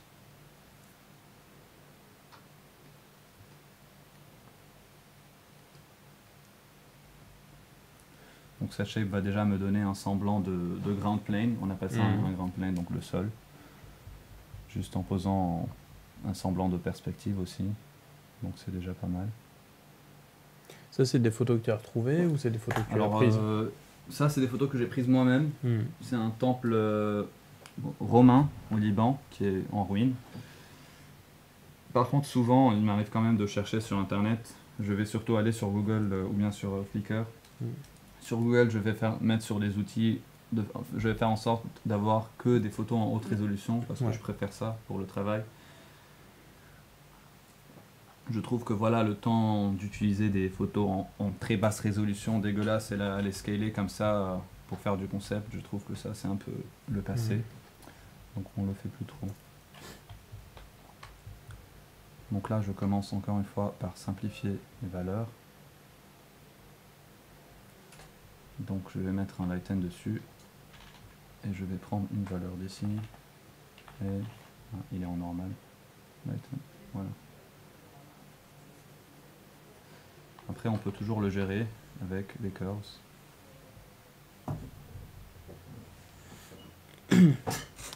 Alors, je me rends compte qu'il est bientôt 15h30. Je pense que ça va être l'occasion de vous faire gagner une première place pour euh, l'événement de ce soir. Donc, je rappelle que ça ne s'adresse qu'aux gens qui sont capables d'être hmm. sur Paris avant, c'est quoi, 18h30, 19h, 19h ce soir. Euh, donc ce que je vais vous poser comme question ultra simple, juste pour valider que tout le monde est là, euh, c'est de me dire qui, quel, euh, quel site est à l'origine des Art and Talk. Et là, hmm. franchement, si vous ne trouvez pas ça, c'est vraiment que vous y mettez pas du vôtre. Et on fera un tir, on procédera à un tirage au sort par rapport à tous ces, par rapport à vos réponses qui seront forcément bonnes, sauf ceux qui n'ont pas envie de jouer. Et Cassis est interdit de jeu. Parce qu'on a Cassis avec nous qui est un gars qui gagne à chaque fois. Je sais pas comment il fait. Il a hacké le système. C'est parce qu'il y y a toutes les, lettres euh, du Scrabble dans son alphabet, dans son, dans son nom. Le Scrabble. J'avais oublié que ça existait. C'était sympa à l'époque. C'est ça, c'était avant le jeu vidéo. Là, les jeux de société, ils en prennent cher avec tous les jeux vidéo et le VR.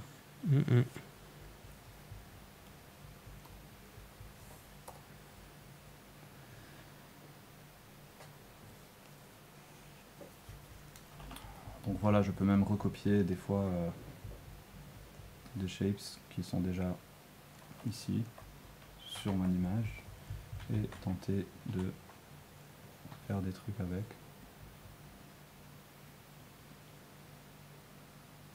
Alors j'hésite à éliminer d'office Cassis du tirage au sort.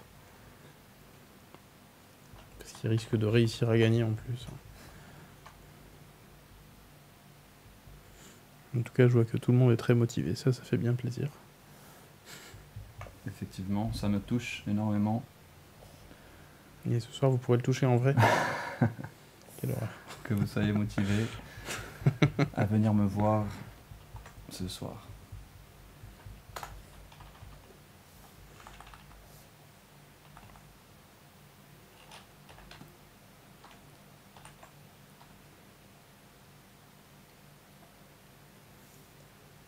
Attention, vous êtes prêts?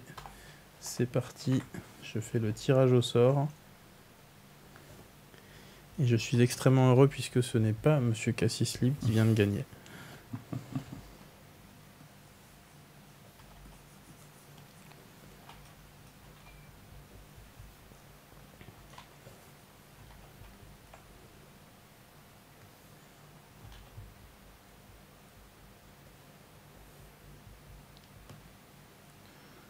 Là, j'essaie de faire en sorte qu'il y ait du sable quand même qui a un peu. Euh, qui affecte la shape de ces, euh, de ces rochers. Ensuite, ils ont toujours l'air un peu bizarres. Pourquoi? C'est parce qu'on n'a pas d'ombre portée encore par rapport à la lumière qui les tape sur le grand plane. Mhm. Et donc vous allez voir que une fois qu'on va la poser, ça devrait aller bien mieux. Donc on va recopier ça. Le nouveau transform. J'avoue qu'il est pas. Il faut s'habituer. Pour les gens qui sont déjà habitués euh, à faire du Photoshop pendant 10 ans, c'est pas évident. Donc là, voilà. Alors il y a Raymond Sébastien qui pose la question à quel moment tu utilises de la 3D pour faire un background vu que tu utilises surtout des assets de photos? Alors, la 3D, j'utilise énormément aussi. Là, on n'est pas en train d'utiliser la 3D. Euh, attends, je vais prendre une minute pour répondre. Donc la 3D, on utilise énormément, mais... Euh, et donc aussi, comme on a collectionné des éléments photographiques ici, mhm. Eh ben, on a aussi une grande... Enfin, chacun de nous, je veux dire, là, je, quand je dis nous, je parle de, surtout de moi, mais mes collègues qui sont aussi de très bons amis à moi, donc c'est comme ça qu'on bosse. Donc je parle de Florent, Antoine, Danard, des mecs de Naughty Dog aussi, qui je sais qu'ils bossent de la même façon, parce qu'on forcément, quand on bosse sur les mêmes projets, on a un peu la même méthode. Donc on a aussi une grosse database de, euh, d'assets en 3D qu'on achète d'internet, que des fois on télécharge. Par exemple sur SketchUp, vous avez Sketchfab, vous avez des sites comme ça où vous pouvez trouver des assets euh, des fois gratuits, des fois il faut les acheter. Et donc on a vraiment une grosse database. Et donc là j'utilise Blender euh, le plus souvent. J'utilise une, une, multitude de software, mais en ce moment là j'utilise beaucoup du Blender pour faire de la 3D et sur Blender, on a des plugins qui sont vraiment très intéressants. Il y en a un qui s'appelle Asset Management. Et sur Asset Management, ça vous permet de, de, classer en fait directement sur le software tous vos assets en 3D que vous avez hmm. téléchargés ou achetés. Et du coup, au lieu d'aller sur File, Import, machin, et à chaque fois prendre du temps pour importer un objet, vous l'avez directement dans le software. Donc si vous voulez faire votre scène, vous allez directement, voilà, je vais prendre un nain, prendre une voiture, dupliquer, prendre tous les objets dont j'ai besoin que j'ai déjà mis dans mon asset manager. Asset management, pardon, il s'appelle le, hmm. plugin. Et donc la 3D, on va l'utiliser quand par exemple, donc là avant j'ai donné l'exemple de voilà pour le travail, quand on fait, on travaille par exemple sur Detroit Become Human et on a un emplacement qui existe déjà, on va aller de base de photos de cet endroit. Par contre des fois, l'endroit existe vraiment, mais on a besoin d'un shot, par exemple, d'un angle de caméra qui est plus bas ou plus haut, et on n'arrive pas à trouver la bonne photo sur Internet. Dans ce cas-là, on va utiliser de la 3D. On va faire un mock-up de base, on appelle ça un mock-up en anglais. Donc, mhm. en gros, c'est une base 3D qui va nous permettre d'avoir une bonne, euh, très bonne référence de lighting, de perspective, tout ça, et nous donner voilà une avance sur l'image au lieu de commencer tout à zéro. Et ensuite, on va euh, collectionner, enfin collectionner, euh, comment dire, rassembler le plus euh, de photos possible qui vont nous servir à rajouter encore plus d'éléments, des textures, tout ça pour finaliser notre concept. Donc vraiment toujours dans l'idée de garder le maximum de références. Exactement. Par contre, pour du personnel, j'utilise aussi pas mal de 3D. J'expérimente souvent en 3D. Aussi, c'est un truc qu'on va, on va discuter de ça ce soir dans l'Art Talk. Donc là, vous me voyez, j'utilise des photos pour faire des, compositions. Des fois, je mhm. peux aussi faire des compositions à base d'une base 3D que j'ai euh, que j'ai fait sur un software comme Blender par exemple. Ou 3D Code, j'utilisais beaucoup 3D Code avant. Là, un peu moins, mais j'aimerais bien y retourner. Là, il y a le VR aussi qui est hyper intéressant, la mhm. réalité virtuelle. Mhm. Donc c'est un peu le futur du, concept art. Ça nous permet vraiment d'avoir des techniques très rapides, de, de mettre des bases 3D tout ça qui vont nous permettre d'avoir des, références lumière et perspective, même d'anatomie, enfin d'anatomie, de, on va dire de proportion plutôt pour les personnages, tout ça. Donc voilà pour ce qui est de la 3D. Donc là je pose l'ombre un peu, l'ombre portée de ces rochers. Et donc à prendre en, compte que voilà, comme l'ombre portée, elle affecte le sable qui est très clair par rapport au soleil. Donc l'ombre portée, elle va pas être très sombre parce que le sable, il est presque, il n'est pas blanc, mais il est presque, on va dire, très clair, donc limite presque blanc. Donc son ombre portée va être plutôt claire. Donc elle va, elle va, faire un truc comme ça. Tu toujours obligé d'évaluer euh, la couleur des ombres, la couleur de l'environnement. Exactement. donc, tu, tu, recrées de la réalité. Exactement, donc on essaye le plus possible de créer, même si, euh, voilà, on dit recréer de la réalité, même si ça peut être stylisé un peu, donc comme des jeux comme un euh, Rime, Shadow of the Colossus, Journey, des jeux comme ça, tu vois, c'est stylisé, mais par contre pour la lumière, c'est toujours, enfin du moins c'est mon avis, mhm. c'est toujours plus euh, intéressant esthétiquement parlant d'avoir une sorte de représentation quand même de la réalité par rapport à la lumière et aux valeurs et tout, à tous ces trucs-là. Donc on va essayer quand même de, faire en sorte de la peindre comme, comme elle réagirait euh, en vrai, même si les shapes sont stylisés et tout ça.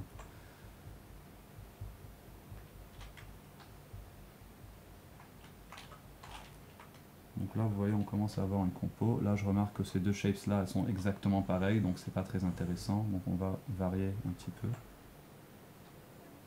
Peut-être même les, les enlever plus tard, on verra.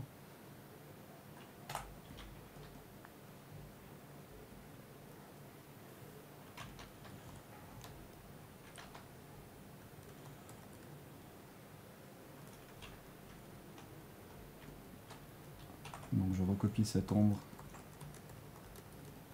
pour la mettre ici.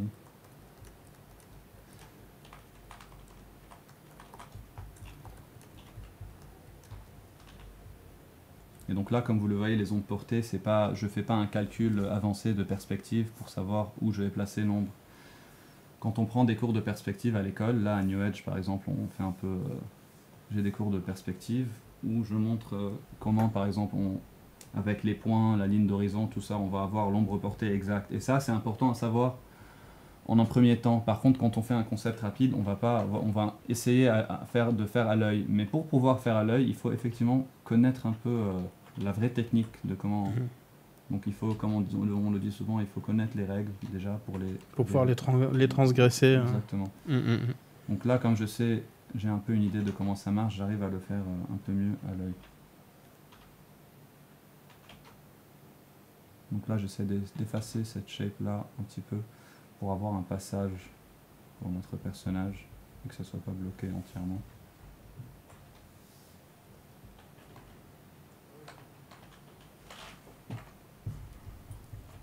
Voilà.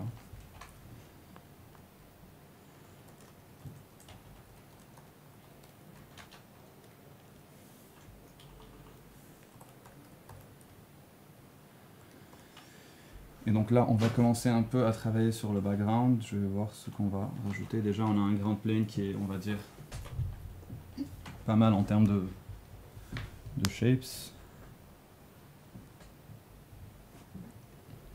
Euh, qu'est-ce qu'on va bien pouvoir prendre?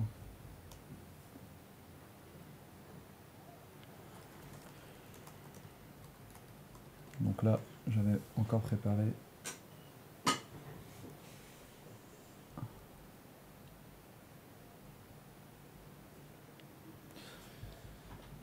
Donc on va voir avec ça.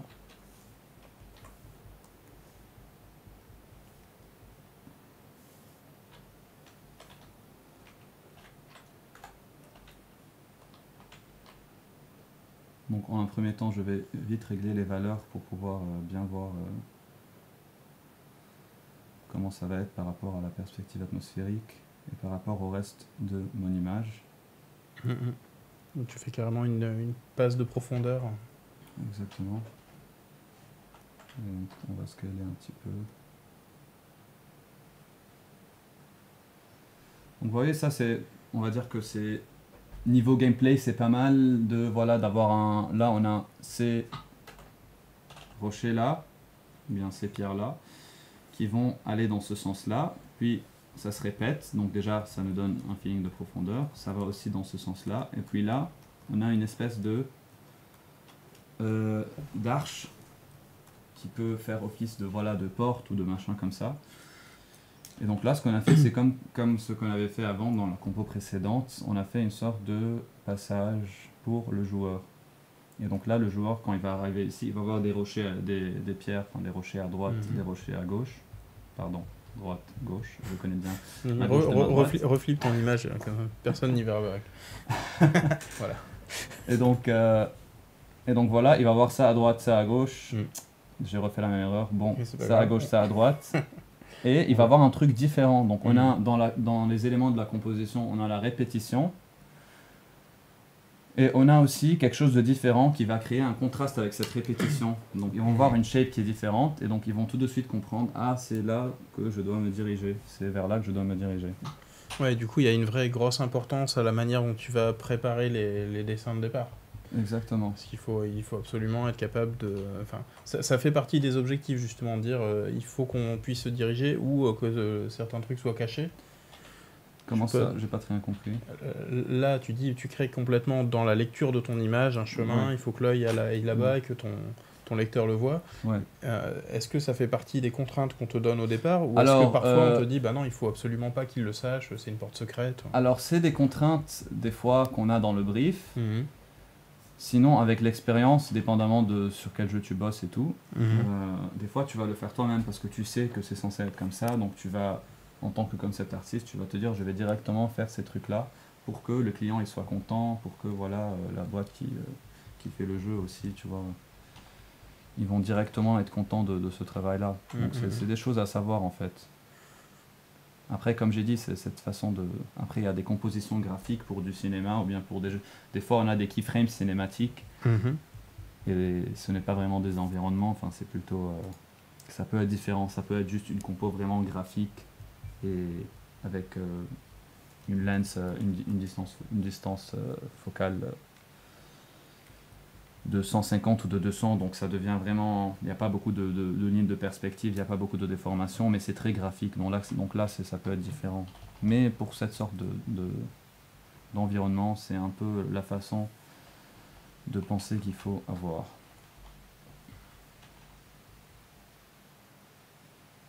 Donc là, je rajoute des ombres par donc j'ai fait la faute de les faire dans la direction, dans la mauvaise direction. Donc il faut aller plutôt à droite pour suivre ces ombres-là. Mais là, j'ai un petit souci de clavier. En principe, c'est bon.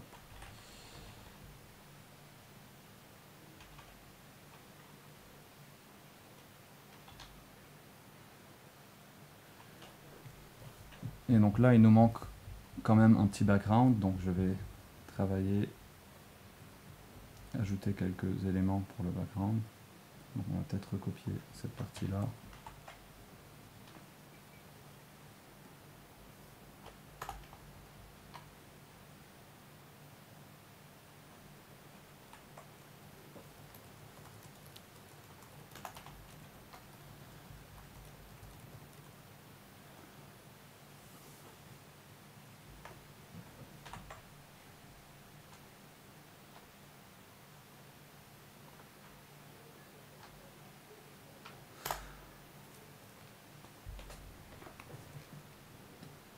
Donc encore une fois, ces shapes-là que j'ai trouvé, euh, il faut vraiment passer du temps pour trouver des shapes, des bonnes shapes. Là, je vous avoue que j'avais un peu une idée de, avant de venir, parce que forcément, comme je sais que j'allais faire une démo, je me suis mm. dit, ok, je vais penser un peu, réfléchir à ce que je vais faire.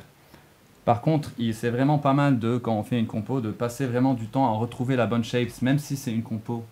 Encore plus si c'est une compo. Voilà, c'est là où il faut résoudre les, les problèmes et vraiment trouver les, les bonnes shapes hmm. et trouver des solutions. Donc vraiment, on passe du temps à trouver les, les, les, bonnes shapes, on teste des trucs, ça marche, ça marche pas, on refait. C'est vraiment bien de prendre du temps sur cette, sur cette étape-là.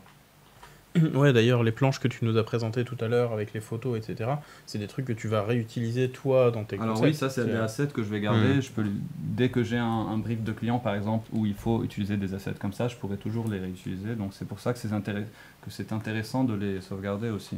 Mmh. Ouais, tu as, passé du temps à les préparer. Et donc je peux, vous dire que, je peux vous dire que ces assets-là que je vous ai montrés, c'est peut-être... Euh, ça fois 100 que mhm. j'ai euh, chez moi à la maison. Donc j'ai vraiment toute une... Et aussi avec, avec mes amis et mes collègues, des fois on va se les partager, on va s'échanger des trucs. Comme ça, on... Voilà, on, on en profite euh, tous au maximum. Et c'est pour ça que c'est important d'avoir des amis qui travaillent dans le même domaine que vous et avec qui euh, vous pouvez échanger des trucs, des assets, avec qui vous, pouvez, euh, voilà, vous pouvez leur demander du feedback sur votre travail. Le feedback, c'est très important. C'est vraiment mauvais de se dire, OK, je suis un très bon juge de mon travail et voilà, moi, je sais ce qu'il y, a, ce qu'il y a de mieux. Non, assez souvent, la plus, pas assez souvent, tout le temps en fait, je fais des travaux personnels. Je vais toujours envoyer à, à Balache, à Florent, à Danard, mes collègues, à Antoine Boutin qui, qui était là aussi et leur demander conseil, qu'est-ce que tu trouves euh, que je dois changer, qu'est-ce que tu trouves, euh, qui... enfin, vous excuserez mon français parce que comme, euh, voilà, je parle aussi beaucoup anglais, mhm.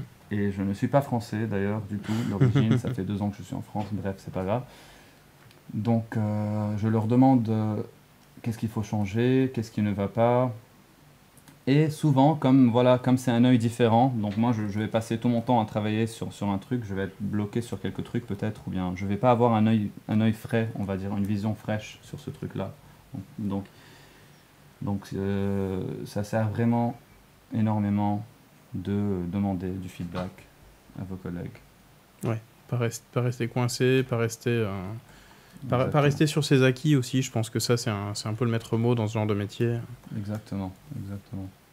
Et du coup, est-ce que tu te fais euh, des, des, des, voyages à des endroits différents pour pouvoir avoir des inspirations, des nouvelles photos? Est-ce que... Alors, les voyages, c'est vraiment très important. Euh, dans le temps, on va dire que voilà, j'avais pas toujours les moyens de, de mmh, voyager. Mais là, dernièrement, comme ça se passe plutôt bien au travail, donc effectivement, j'ai la chance de voyager plus et je trouve ça vraiment très inspirant. Déjà, on peut prendre nos propres photos, comme j'ai mmh. fait là. Ouais. Et euh, c'est toujours mieux d'avoir ses propres photos parce que déjà, comme c'est nous qui les avons pris, euh, on peut vraiment se retrouver dedans et savoir quoi. Déjà, en prenant la photo, je me dis, ah tiens, ça, je pourrais l'utiliser. Ça, c'est intéressant. Tu sais, tu sais comment tu as pu circuler, comment tu as pu arriver là. Et en, en, plus, je pense que un autre avantage que tu vas avoir, c'est que tu vas avoir une série tu rarement une seule photo. Euh, Exactement, tu as une série de photos qui ont été prises dans, dans la même euh, location, donc dans le même endroit. Mhm. Ce qui veut dire qu'il y a le même lighting qui est dessus, donc ils sont tous en concordance avec eux-mêmes, et tous utilisables dans le même, un, peu dans, le même, dans la même image par exemple. Ils ont tous un peu la même fréquence de détail parce qu'ils ont été pris avec la même caméra. Parce que des fois, alors dans nos travail, ça peut être très euh, réaliste, limite matte painting, le concept art qu'on fait pour des jeux comme Last of Us et du coup, si des photos ont été prises avec différentes caméras, des fois tu vas avoir une photo euh, super euh, crisp, tu vois, super sharp en termes mhm. de. et une autre photo assez, assez floutée, et du coup ça marche pas ensemble et il faut arranger et tout. Ouais, tu vas passer plus de temps à retravailler la photo que euh, Exactement. qu'avoir prévu ça. Et donc je peux vous dire que voilà, un, un bon photographe, être bon photographe avec une bonne caméra, ça peut aussi être pas mal pour le travail. Et là, moi, je vous avoue que je prends ces photos-là avec mon téléphone, et donc hmm. pas avec une caméra. Donc j'ai Google Photos, automatiquement ça va uploader, et du coup, quand je travaille, je peux directement les chercher. Aller les chercher Ça, c'est pas mal aussi. Par contre, Florent, par exemple, il a sa propre caméra professionnelle et il prend vraiment de super photos et il arrive, euh, il sait vraiment comment gérer la lumière de sa caméra pour vraiment, vraiment prendre le, le, max, de détails. Un max d'infos, voilà, pour pouvoir. Euh, Alors, il faudra que je te parle de, de deux trucs. Non, trois d'ailleurs. Il faudra que je te parle de, de Bridge pour le tri de toutes ces images-là. Je sais pas si tu utilises ça. Alors Bridge, je n'utilise pas. J'ai vu John Sweeney l'utiliser hmm. euh, sur un tuto et j'ai trouvé ça vraiment pas mal. Plein, plein, de, plein d'assets à choisir et tout. Euh, tu peux zoomer dedans, voir à 100% justement l'histoire du détail. Euh, et puis même sur ton appareil photo, sur ton téléphone, tu as une appli qui s'appelle Lightroom. Et Lightroom, c'est directement connecté à ton Creative Cloud. Ce qui fait que par exemple sur le sur ton Photoshop. Alors, je, vais, je, vais te mettre dans un petit coin, ne vous inquiétez pas euh, pour les autres. Sur ton Photoshop, tu as un petit, menu, euh, un petit menu maison ici qui te permet de revenir à ton écran d'accueil de Photoshop et d'aller chercher les photos de ton mm. tes photos Lightroom et ces photos Lightroom en fait bah, ça va te permettre de, de retrouver en fait les euh, bah, tout, tout, ce que tu viens de tout ce que tu viens de prendre en photo mm. alors là il ne l'a pas mis au premier plan je sais pas pourquoi j'ai une fenêtre en cours et, euh, et, du coup, ben, ces photos-là, c'est les photos qui sont dans ton Lightroom CC et tu retrouves du coup toute ta base d'images et tu peux retravailler ton lighting. Tu vois, je m'étais posé des questions genre euh, plus net le premier plan, plus net l'arrière-plan. C'est la même photo et derrière, tu as de quoi. Alors là, c'est la même photo que tu. Euh, deux photos non, non, c'est deux, photos. Mais du coup, tu peux copier-coller les réglages, tu peux choisir un petit peu ce que tu vas avoir en termes de lumière et tu as des détails qui sont assez ouf en termes de, mm. euh, de, de, rattraper. Tu vois, la, je sais plus si j'ai l'original de ça, hop, avant, après c'est plutôt, euh, c'est plutôt assez cool de voir jusqu'où il est capable de, de te rattraper du ciel, des contre-jours, euh, des lumières qui sont pas toujours, qui sont loin d'être parfaites d'ailleurs. Donc ça, ça peut être... C'est très intéressant, effectivement. J'avais entendu un peu parler du Lightroom, mais... Il y a Aurore qui nous dit qu'elle utilise énormément Bridge. Est-ce qu'il est inclus dans Labo euh, Photoshop CC Ouais, évidemment qu'il est inclus dans Labo Photoshop CC. Du coup, à tout, à tout moment, en fait, vous pouvez euh, installer Bridge et euh, rajouter, travailler avec. Et pour ceux qui sont euh, très demandeurs d'assets individuels, on peut même imaginer faire un mélange entre, entre Bridge, justement, et récupérer ce qu'on appelle des assets. On a une librairie, les librairies CC, les bibliothèques CC, que tu peux partager même avec des collègues. Et du coup, tu mettrais tes calques déjà détourés, tu les aurais dans les librairies. Ah, ok. Et là, ça, voilà, tu, tu gagnes encore un niveau en, en rangement, en, organisation. D'accord. Donc là, vous voyez, j'essaie de. Je tente de faire un, truc, ça va peut-être marcher, ça va peut-être pas marcher. Donc j'essaie de faire un petit design de d'entrée. Là, on a une sorte d'entrée. Mhm. Alors, on peut dire Avec un passage.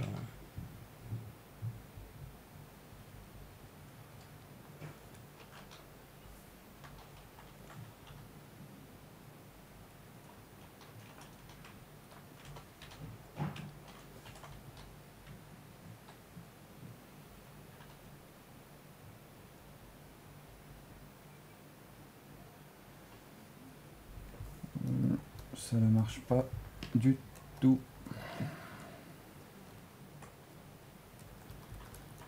Donc je vais retirer pour le moment. Et on va mettre des nuages, encore une fois.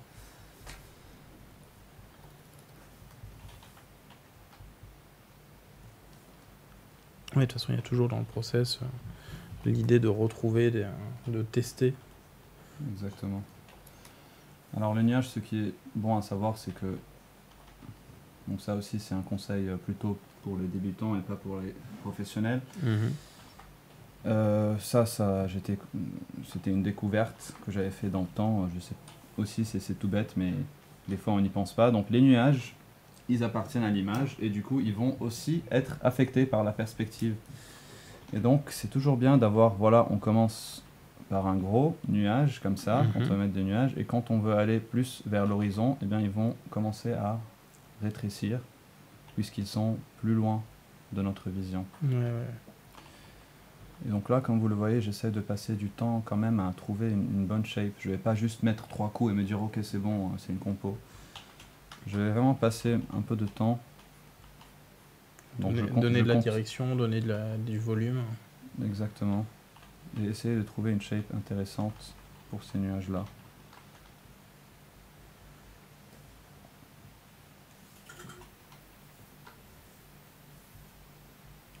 Donc en même temps, je veux pas qu'il y ait trop de. Donc là, j'aimerais bien que voilà, ça soit comme c'est mon point focal. Je veux pas qu'il y ait un background derrière qui est trop, euh, on va dire, euh, trop busy, trop. Euh, je sais pas comment dire en français, enfin trop. trop chargé. Trop chargé, exactement. Hmm. Donc je simplifie un peu cette partie-là. Et donc comme vous voyez, je suis assez, assez loin, on va dire, et je, je fais plutôt des, des, gros coups de pinceau et non pas des, des coups minuscule avec un zoom in.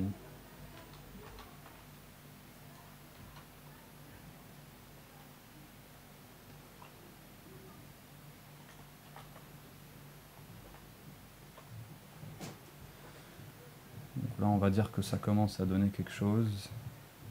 Je rajoute un cac par-dessus. Mhm. Et je travaille un peu les ombres de mes nuages. Ça fait toujours euh, un effet intéressant d'avoir. Donc là, on a la lumière qui vient un peu de d'en haut et un peu de, de, gauche. Donc la lumière, elle va avoir cet effet-là.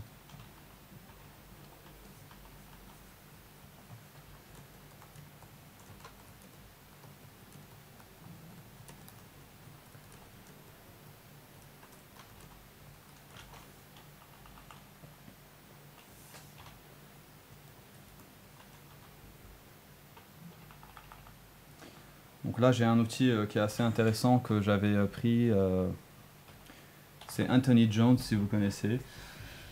Un artiste qui fait des personnages, du character design et des robots et toute cette sorte de concept qui est vraiment très très très bon. Qui a travaillé beaucoup pour Blizzard et pour, pour des films aussi. Et donc cet outil-là, c'est un smudge tool. Donc si on va sur le smudge tool, vous voyez là, on a les, les outils, ils sont où? Donc je vais rouvrir la barre des outils, Tool Presets, et il s'appelle SoftBlend, donc vous pourrez mm. le retrouver sur son Gumroad probablement. C'est Robot Pencil Robot Pencil, c'est ça.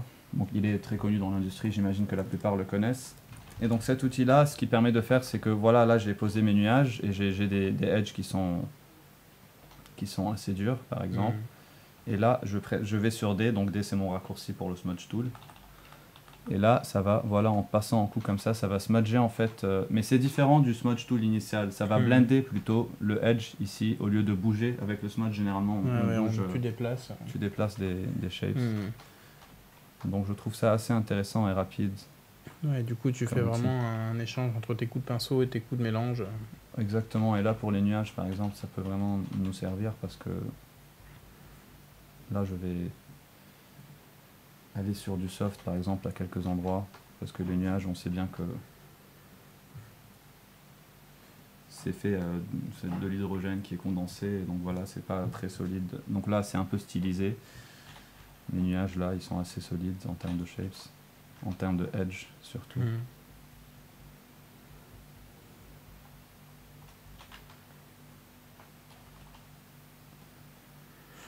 Il y a Ludovic qui dit à ce stade, on pourrait presque imaginer de l'eau ou même de l'herbe au sol. Alors effectivement, parce que c'est très... Euh... très proche. En fait, la valeur, elle est très, elle est très euh, comment dire, plate. Mmh. une valeur. Donc là, je vais rajouter un petit truc, tu vas voir, c'est assez intéressant comme, euh, comme commentaire, parce que justement, j'ai une petite technique que je vais vous montrer, et que c'est pas moi qui l'ai inventé, c'est un truc basique sur Photoshop, mais ça marche bien. Donc là, juste avant de faire ça, je Je smudge un petit peu quelques parties pour avoir des, des edges plus soft. Mais avant de le faire, je, vais merger mes deux nuages, mes, enfin mes deux calques de nuages. Comme ça, le, le smudge va affecter tout, tout le nuage et non pas une petite partie uniquement.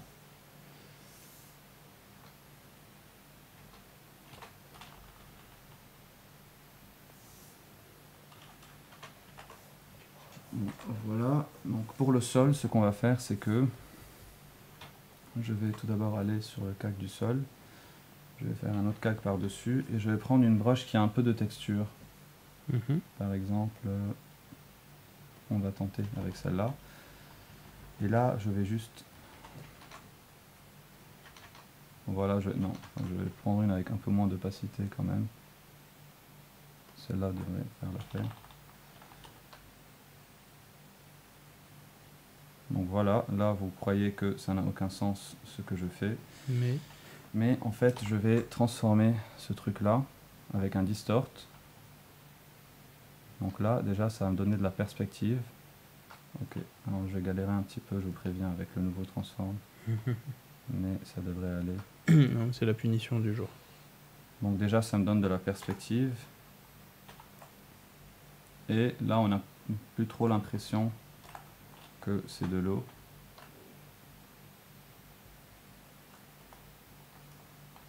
Ensuite, je vais un peu régler pour que ça ne soit pas très opaque. Et je vais mettre par-dessus les ombres. Mhm.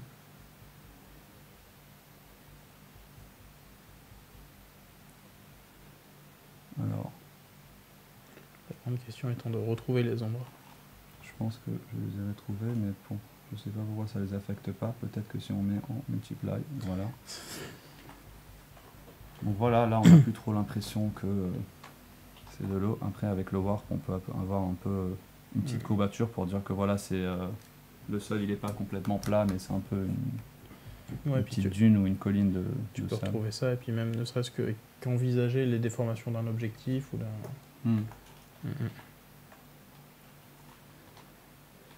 Donc là je peux recopier ce truc, le rétrécir et en mettre un alors là, je sais pas si ça a fonctionné, on va tenter.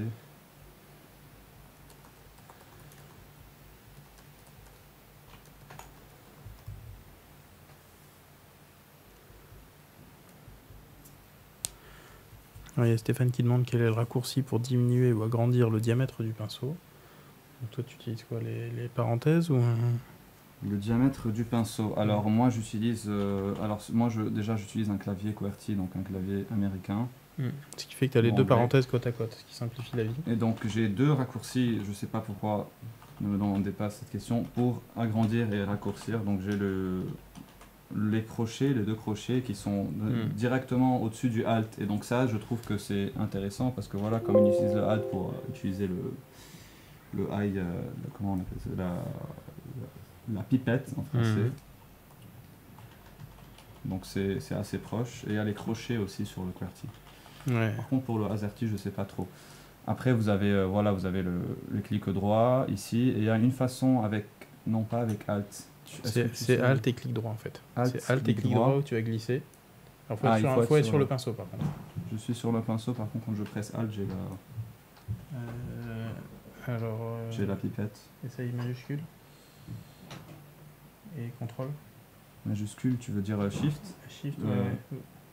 Je, sais que c'est le pinceau. Alors essaye contrôle. Peut-être contrôle. Je suis malheureusement pas sur PC. Et c'est clic droit. Hein. C'est clic droit. Ouais, clic droit.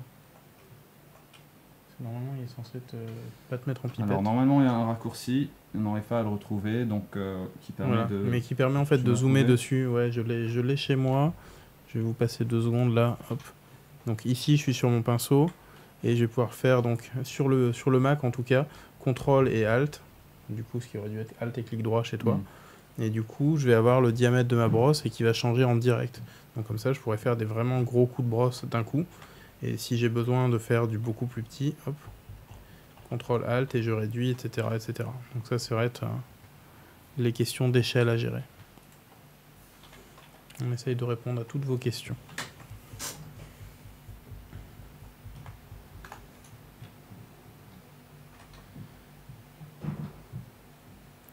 Donc là, ce que j'ai fait, c'est que j'ai remarqué que voilà, même si c'est une compo, pour le moment, ce rocher-là, c'est celui qui, qui a le moins de texture par rapport à tout le reste. Et donc ça, ça, ressort un peu. Et je veux pas que ça ressorte. C'est hmm. pour ça que j'ai recopié un peu de texture par-dessus. Et j'ai clippé le calque. Et donc j'essaie de le poser d'une certaine façon. Après, ça, ça pourrait être un peu plus sombre. Alors je vois qu'il est qu'on vient de dépasser de 3 minutes les 16 heures. On va faire tirer au sort une deuxième place pour notre, euh, pour notre petit contest du jour et pour la présence ce soir. Donc comme tout à l'heure, hein, je vous rappelle, ça a lieu à Paris. Si vous pouvez pas être à Paris, ne, ne, jouez pas. Sinon, je suis obligé de relancer les, les questions. Euh... Qu'est-ce que je pourrais vous poser comme question super précise? Parce que tout à l'heure, on a parlé de. La, réponse était IAMAG, hein, qui était le, le, grand organisateur de tous, nos, de tous nos événements autour du concept art. Euh, qu'est-ce que je vais trouver comme question drôle? Surtout, je vais essayer de retrouver mon Nightbot que j'ai rangé quelque part, mais je ne sais pas où. Hop, où es-tu, Nightbot? Non. Voilà, j'ai remis la main sur Nightbot. On va pouvoir rejouer. On va pouvoir jouer. Et ce coup-ci, ce que je vais vous demander, en fait, c'est euh, de nous dire. De nous donner le nom de famille du prochain artiste qu'on va recevoir dans les Art Talk. Donc, qui auront lieu. Euh, le prochain aura lieu le 16 novembre. Et euh, normalement, vous devriez réussir à trouver ça. le nom du prochain artiste qui sera présent au Art and Talk. C'est pas des questions très compliquées.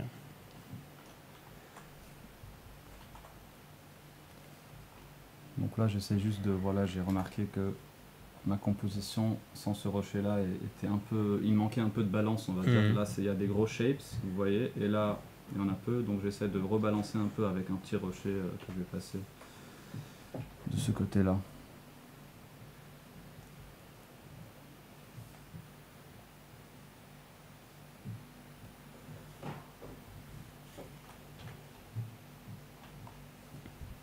Donc pour ceux qui se demanderaient d'où vient cette question, ce soir il y a un live avec euh, Jade. Si vous voulez participer, il faut nous dire qui vous pourriez voir dans un mois et demi. Voilà, je pense que la réponse est, est bien passée. Maintenant il va falloir faire un tirage au sort. Je vous laisse encore quelques secondes pour le tester.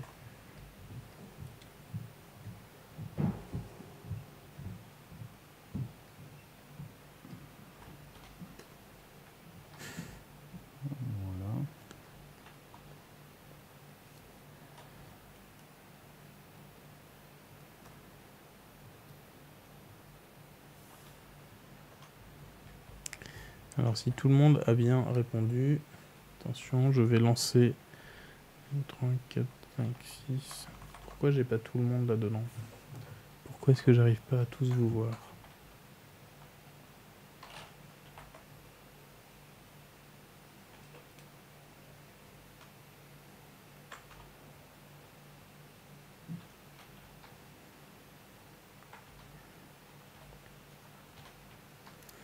faites bien gaffe à un truc, je crois qu'il a beaucoup de mal avec les accents.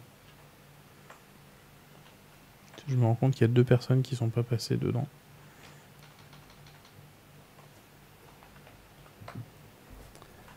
Attention, c'est prêt. 3, 2, 1.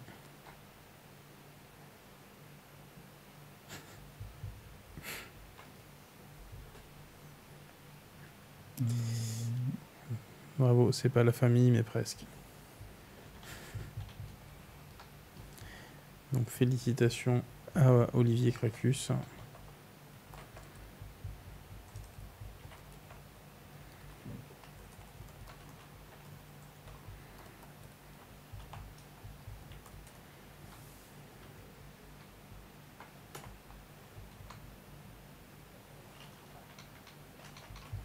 Alors pendant que j'étais en train de vous faire gagner une place pour ce soir, il y a Sylvain Frigia qui nous dit est-ce que tu pourras nous montrer quand tu passes en couleur? Ou c'est pas le thème Malheureusement, si, euh, si j'ai bien raison, là on, a presque plus de temps. Mm. Donc les couleurs, ça sera pour une autre fois. Par contre, j'ai bien dit que voilà, pour passer en couleur, en fait, je ne prends pas la même image que j'ai fait là et que je passe en couleur parce que je n'aime pas colorier sur Photoshop parce que là j'ai déjà perdu toutes les infos de lumière et de couleur que j'ai sur le photo, donc sur des photos. Donc ce que je vais faire dans ce cas-là, si je veux prendre ça en couleur, c'est que je vais mhm. refaire la même compo en couleur. Et donc là, je vais utiliser ça comme guide. J'ai déjà les shapes, j'ai déjà les photos que j'ai utilisées, donc je sais très bien quelles photos j'ai utilisées pour, faire, mhm. pour faire ce truc-là. Donc je vais tout refaire en couleur à partir de zéro. Et ça va pas me prendre beaucoup de temps, ça va être vraiment rapide. Et ensuite, je vais continuer l'image et la finir en couleur. Donc c'est ça le process. Malheureusement, là, on n'a pas de C'est des choses qui arrivent dans les demandes ou tu sais euh, dès le départ si tu dois rendre la couleur du noir et blanc? Alors normalement, on sait dès le départ, mais même, même, même si je sais que je dois le faire en couleur, il, mhm. arrive que je commence en noir et blanc comme ça pour résoudre... Euh, ouais, les, les, problèmes de masse. Exactement, les shapes, la compo, tout ça. Après, mhm. euh, c'est ça le plus dur, tu vois. C'est ça le... Vraiment, si tu as très bien résolu cette partie-là, le reste, c'est pas censé être difficile à faire du moins à un niveau professionnel, je dirais. Oui, bien sûr. Non, puis après, je suppose qu'il peut y avoir aussi des questions à un moment, genre on a envie de sortir un super artwork du jeu. Est-ce que tu peux nous faire un. Enfin, est-ce que parfois les concepts mmh. euh, servent par la suite dans la production du jeu, en, je sais pas moi, sur le marketing ou des choses comme ça ou c'est Alors le, le, marketing art, je pense que c'est un truc à part. Généralement, hmm. ils, vont commissionner des gens pour faire du concept art hmm. ou bien des illustrations qui sont juste, euh, qui, ont, qui ont juste le but de, faire du marketing. Tu vois, c'est un peu différent. Hmm. Alors que quand ton concept pour du jeu, c'est voilà pour développer le jeu euh, plutôt en lui-même. Et donc des images pour du marketing. Dernièrement, j'en ai pas trop fait. Je sais plus dans le temps si j'en ai sûrement fait mhm. un petit peu. Pas pour des gros, euh, pour des grosses boîtes, hein, des trucs, euh, des petits trucs. Et donc voilà.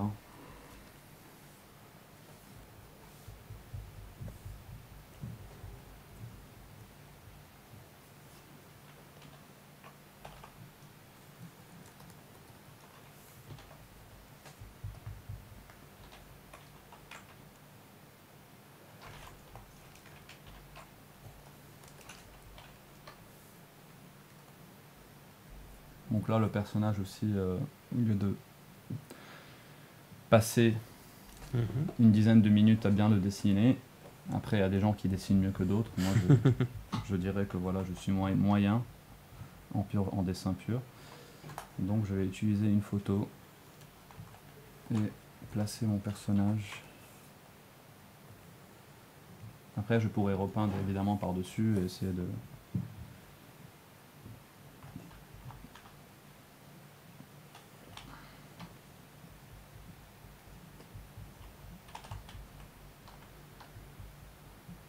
Je suis pas obligé de. Voilà, j'ai une photo avec un, gars qui a des flèches sur son dos et un arc. Pas, je suis pas obligé de garder tout ça. Ce que je veux, c'est vraiment placer vite fait la silhouette de ce personnage. Après, je vais peut-être euh, peindre un peu par-dessus pour, euh,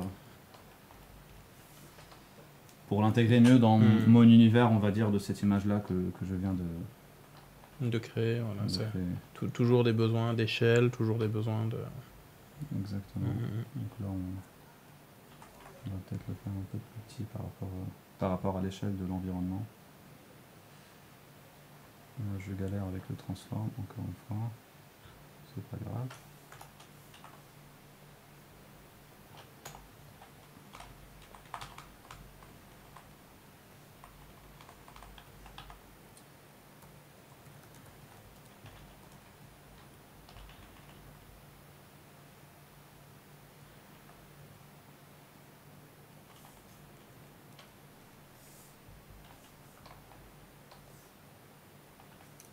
Donc là, vous voyez par exemple, il est un peu, on va dire qu'il est un peu petit quand même par rapport aux textures des pierres qu'il y a à côté. C'est pour ça que généralement, j'aime bien m'en débarrasser.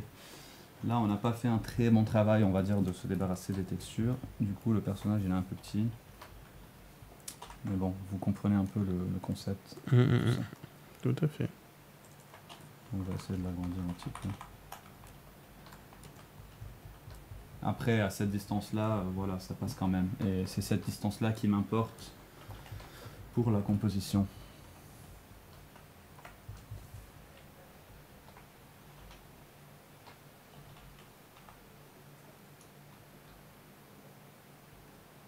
Alors là, on doit, on doit évidemment travailler en, numérique. Est-ce que tu fais encore beaucoup d'esquisses, de, croquis à la main? Euh, J'en faisais énormément dans le temps et c'est ça un peu qui m'a permis à, m'améliorer en dessin aussi. C'est important, je dirais, euh, d'avoir de bonnes bases, euh, des fondamentaux de dessin, de tout ça. Dernièrement, j'en ai pas trop fait, mais je t'avoue qu'il serait bien de, reprendre un petit peu. C'est toujours un, très bon exercice que de dessiner de façon traditionnelle.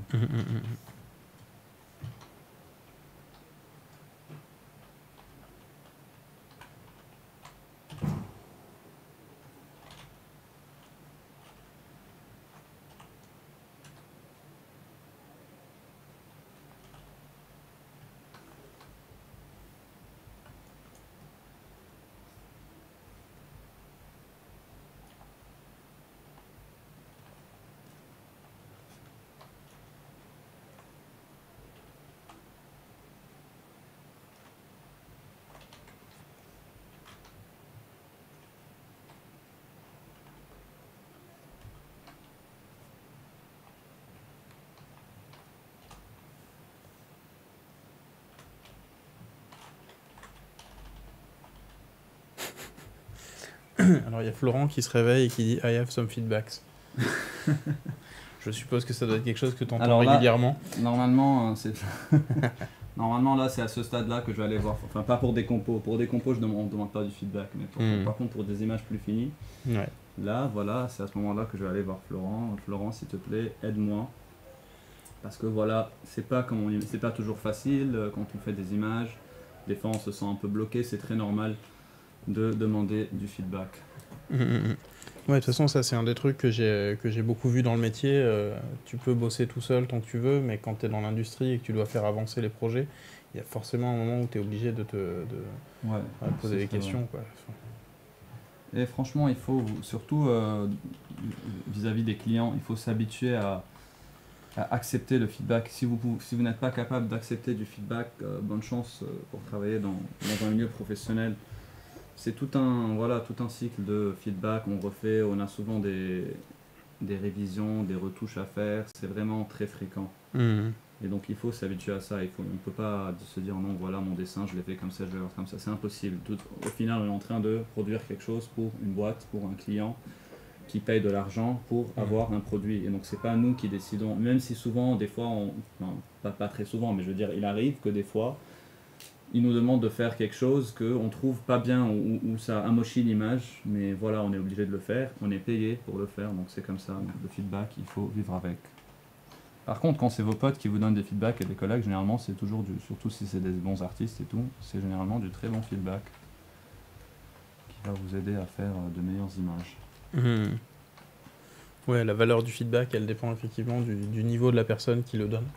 Exactement, exactement. Les, clients, des fois, voilà, c'est pas des gens, des fois, c'est pas des artistes, ils s'y connaissent pas vraiment, mais ils veulent un certain truc. Et... Oui, ils, vont te donner un feedback par rapport à un besoin précis. Le truc, c'est justement la, la, traduction, deviner. Euh, et, évidemment, nous, c'est notre travail de, de, les conseiller et de leur dire voilà, si on fait ça, ça va peut-être nuire à l'image et tout. Donc, bien sûr, on les conseille, mais des fois, ils vont être obstinés et, et on peut pas toujours euh,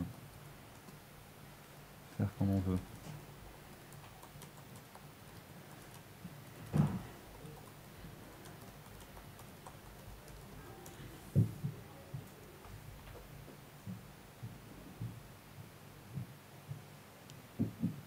là encore une fois je raccorde euh, mon personnage à, un environnement d'un point de vue lumière. Donc on a un rim light un peu sur ces rochers que j'essaie de retracer sur mon personnage.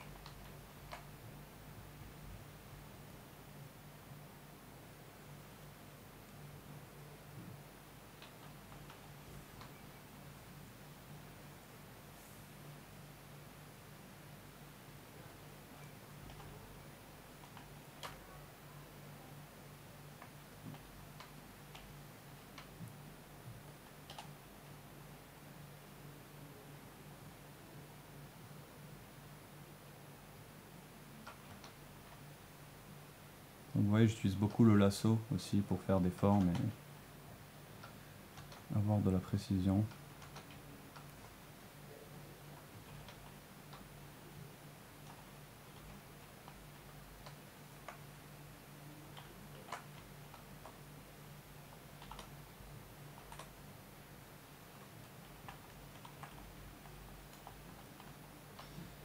donc, ce qui est très important, c'est d'avoir une bonne lisibilité des choses qu'on est en train de faire. Donc, c'est pour ça que voilà, j'ai changé un peu l'épée parce qu'elle cachait la tête et du coup, on comprenait plus que c'était la tête. Donc, j'essaie de la bouger de façon à ce que, même en termes de silhouette, le personnage soit lisible. Et c'est à ça que, que, la compo elle sert en fait, mmh, mmh. à résoudre tous ces problèmes-là de silhouette dès maintenant.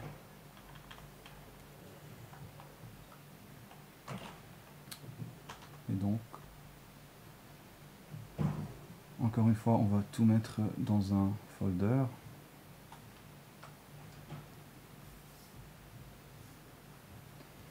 Et là, je vais faire un petit...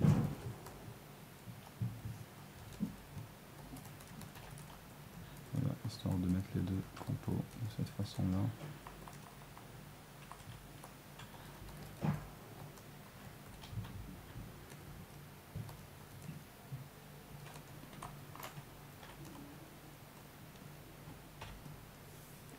Voilà.